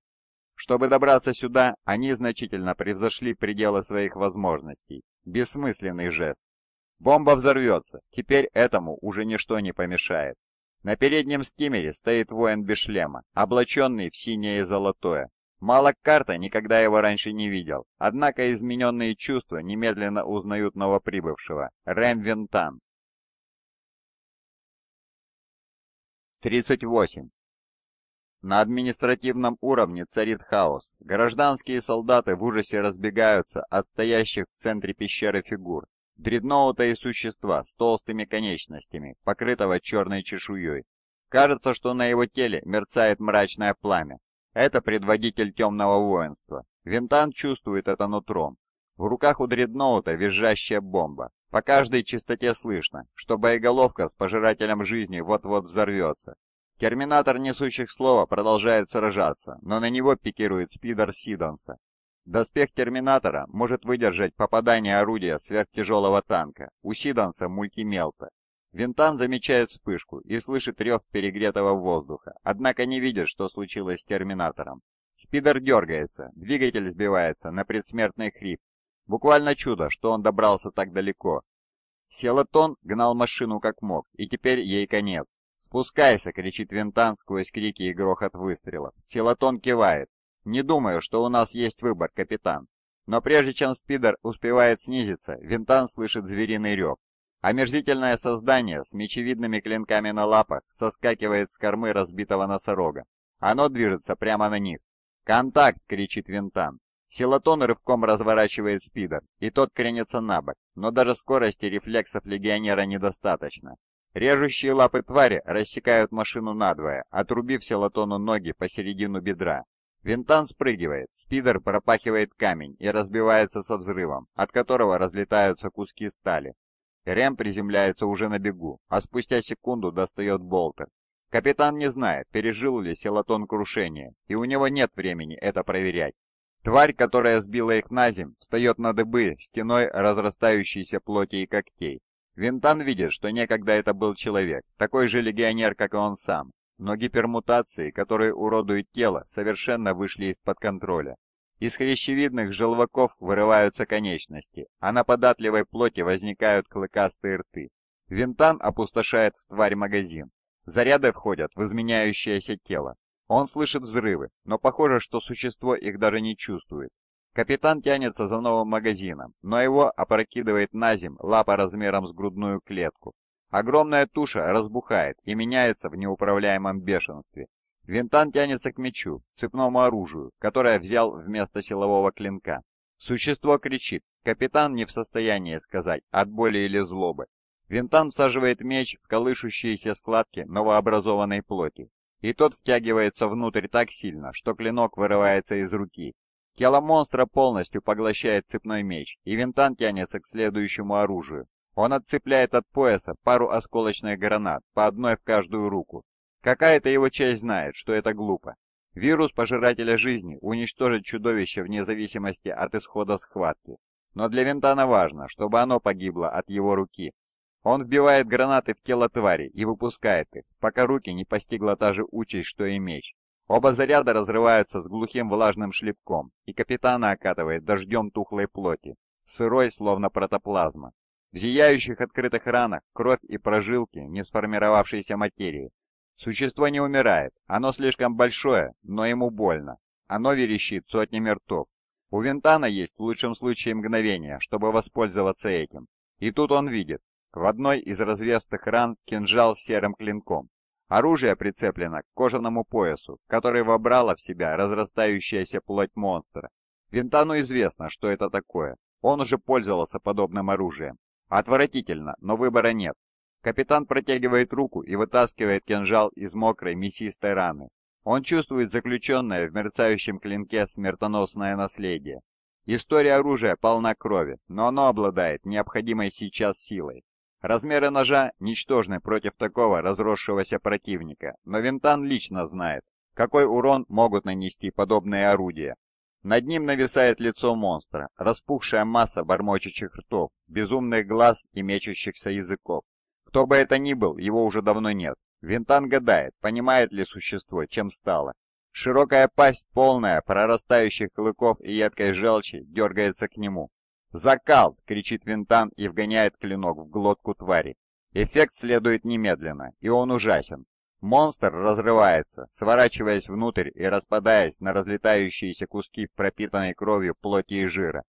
Гибридные органы отмирают за считанные секунды, а растущая материя чернеет за один вздох. Моментальное разложение сопровождается смрадом массового захоронения. Из не имеющих названия комков, пораженной болезнью плоти, разлетаются брызги зловонной черной жидкости. Винтан отшатывается назад, испытывая при виде смерти существа неимоверное омерзение. Где-то посреди картины распада он замечает признаки постчеловеческого тела, но и они разрушаются у него на глазах. Он сплевывает сгусток смрадной жидкости и переводит взгляд на неподвижного дредноута, который держит вирусную бомбу. Чешуйчатая черная фигура с кривым рогом смотрит на капитана с ненавистью. Она разворачивается и исчезает в мерцающей прорехе в мироздании. Винтан чувствует тошноту от такого надругательства и той порчи, которую он видит сквозь разрез. Разрыв уже уменьшается, ткань мира затягивается, и через считанные секунды отверстие исчезнет. Кинжал дергает руку. Он хочет вернуться в нечестивое царство, где был сотворен. «Сиданс!» — кричит Винтан, выводя на визор таймер бомбы. «Ко мне!» Позади него разворачивается синий спидер. «Сколько?» — спрашивает Сиданс. «Десять секунд. Слезай!» «Что? Нет, я с тобой!» «Не в этот раз!» — говорит Винтан. «Сейчас нет тринадцатого Эльдара». Он пинком сталкивает Сиданса со спидера и падает на место пилота. Двигатель изрыгает струю облученного дыма, и скиммер кренится вперед. Винтан заставляет его совершить последний полет. Спидер трясется, как будто разваливается на части. Сзади раздается резкий стук сбоящего двигателя и тянется огненный шлейф. «Давай же, проклятие, лети!» — кричит Винтан. Гравитационные панели отказывают, и спидер снижается. Энергия почти полностью израсходована, двигатель не работает. Капитан силится удержать машину в воздухе, вытягивая рулевую колонку назад и вкладывая в спидер все остатки своей воли и веры. Дредноут темнеет перед ним, словно непоколебимый левиафан. Винтан бросает порченный варпом кинжал на сиденье стрелка. «За отвагу и честь!» — выкрикивает он. «За императора!» В машину вливается последняя порция энергии, и Винтан активирует переднее орудие, спрыгивая со спидера. Капитан жестко падает на земь и перекатывается, а скиммер на полном ходу врезается в дредноута. Столкновение ужасно. Инерцию спидера не погасить. Дредноут отшатывается назад на своих поршневых ногах, а затем взрывается двигательный блок, и удар отбрасывает машину назад. Гироскопические стабилизаторы силятся удержать равновесие, но не справляются с этим. Дредноут падает, и его поглощает сосущая рана в мироздании. Он исчезает с калта, и разрыв закрывается за ним. Винтан задерживает дыхание, считая секунды. Он ждет взрыва, который так и не происходит. Капитан не знает, куда делась бомба со смертоносным вирусом пожирателя жизни, но это не Калт. Ему этого достаточно. Он оборачивается на звуки ликования. Требуется секунда, чтобы осознать, что оно обращено к нему. Обитатели Аркологии-10 выкрикивают его имя. Нет, не имя, прозвище. Спаситель Калта. И Рэм Вентан впервые чувствует, что заслужил этот титул.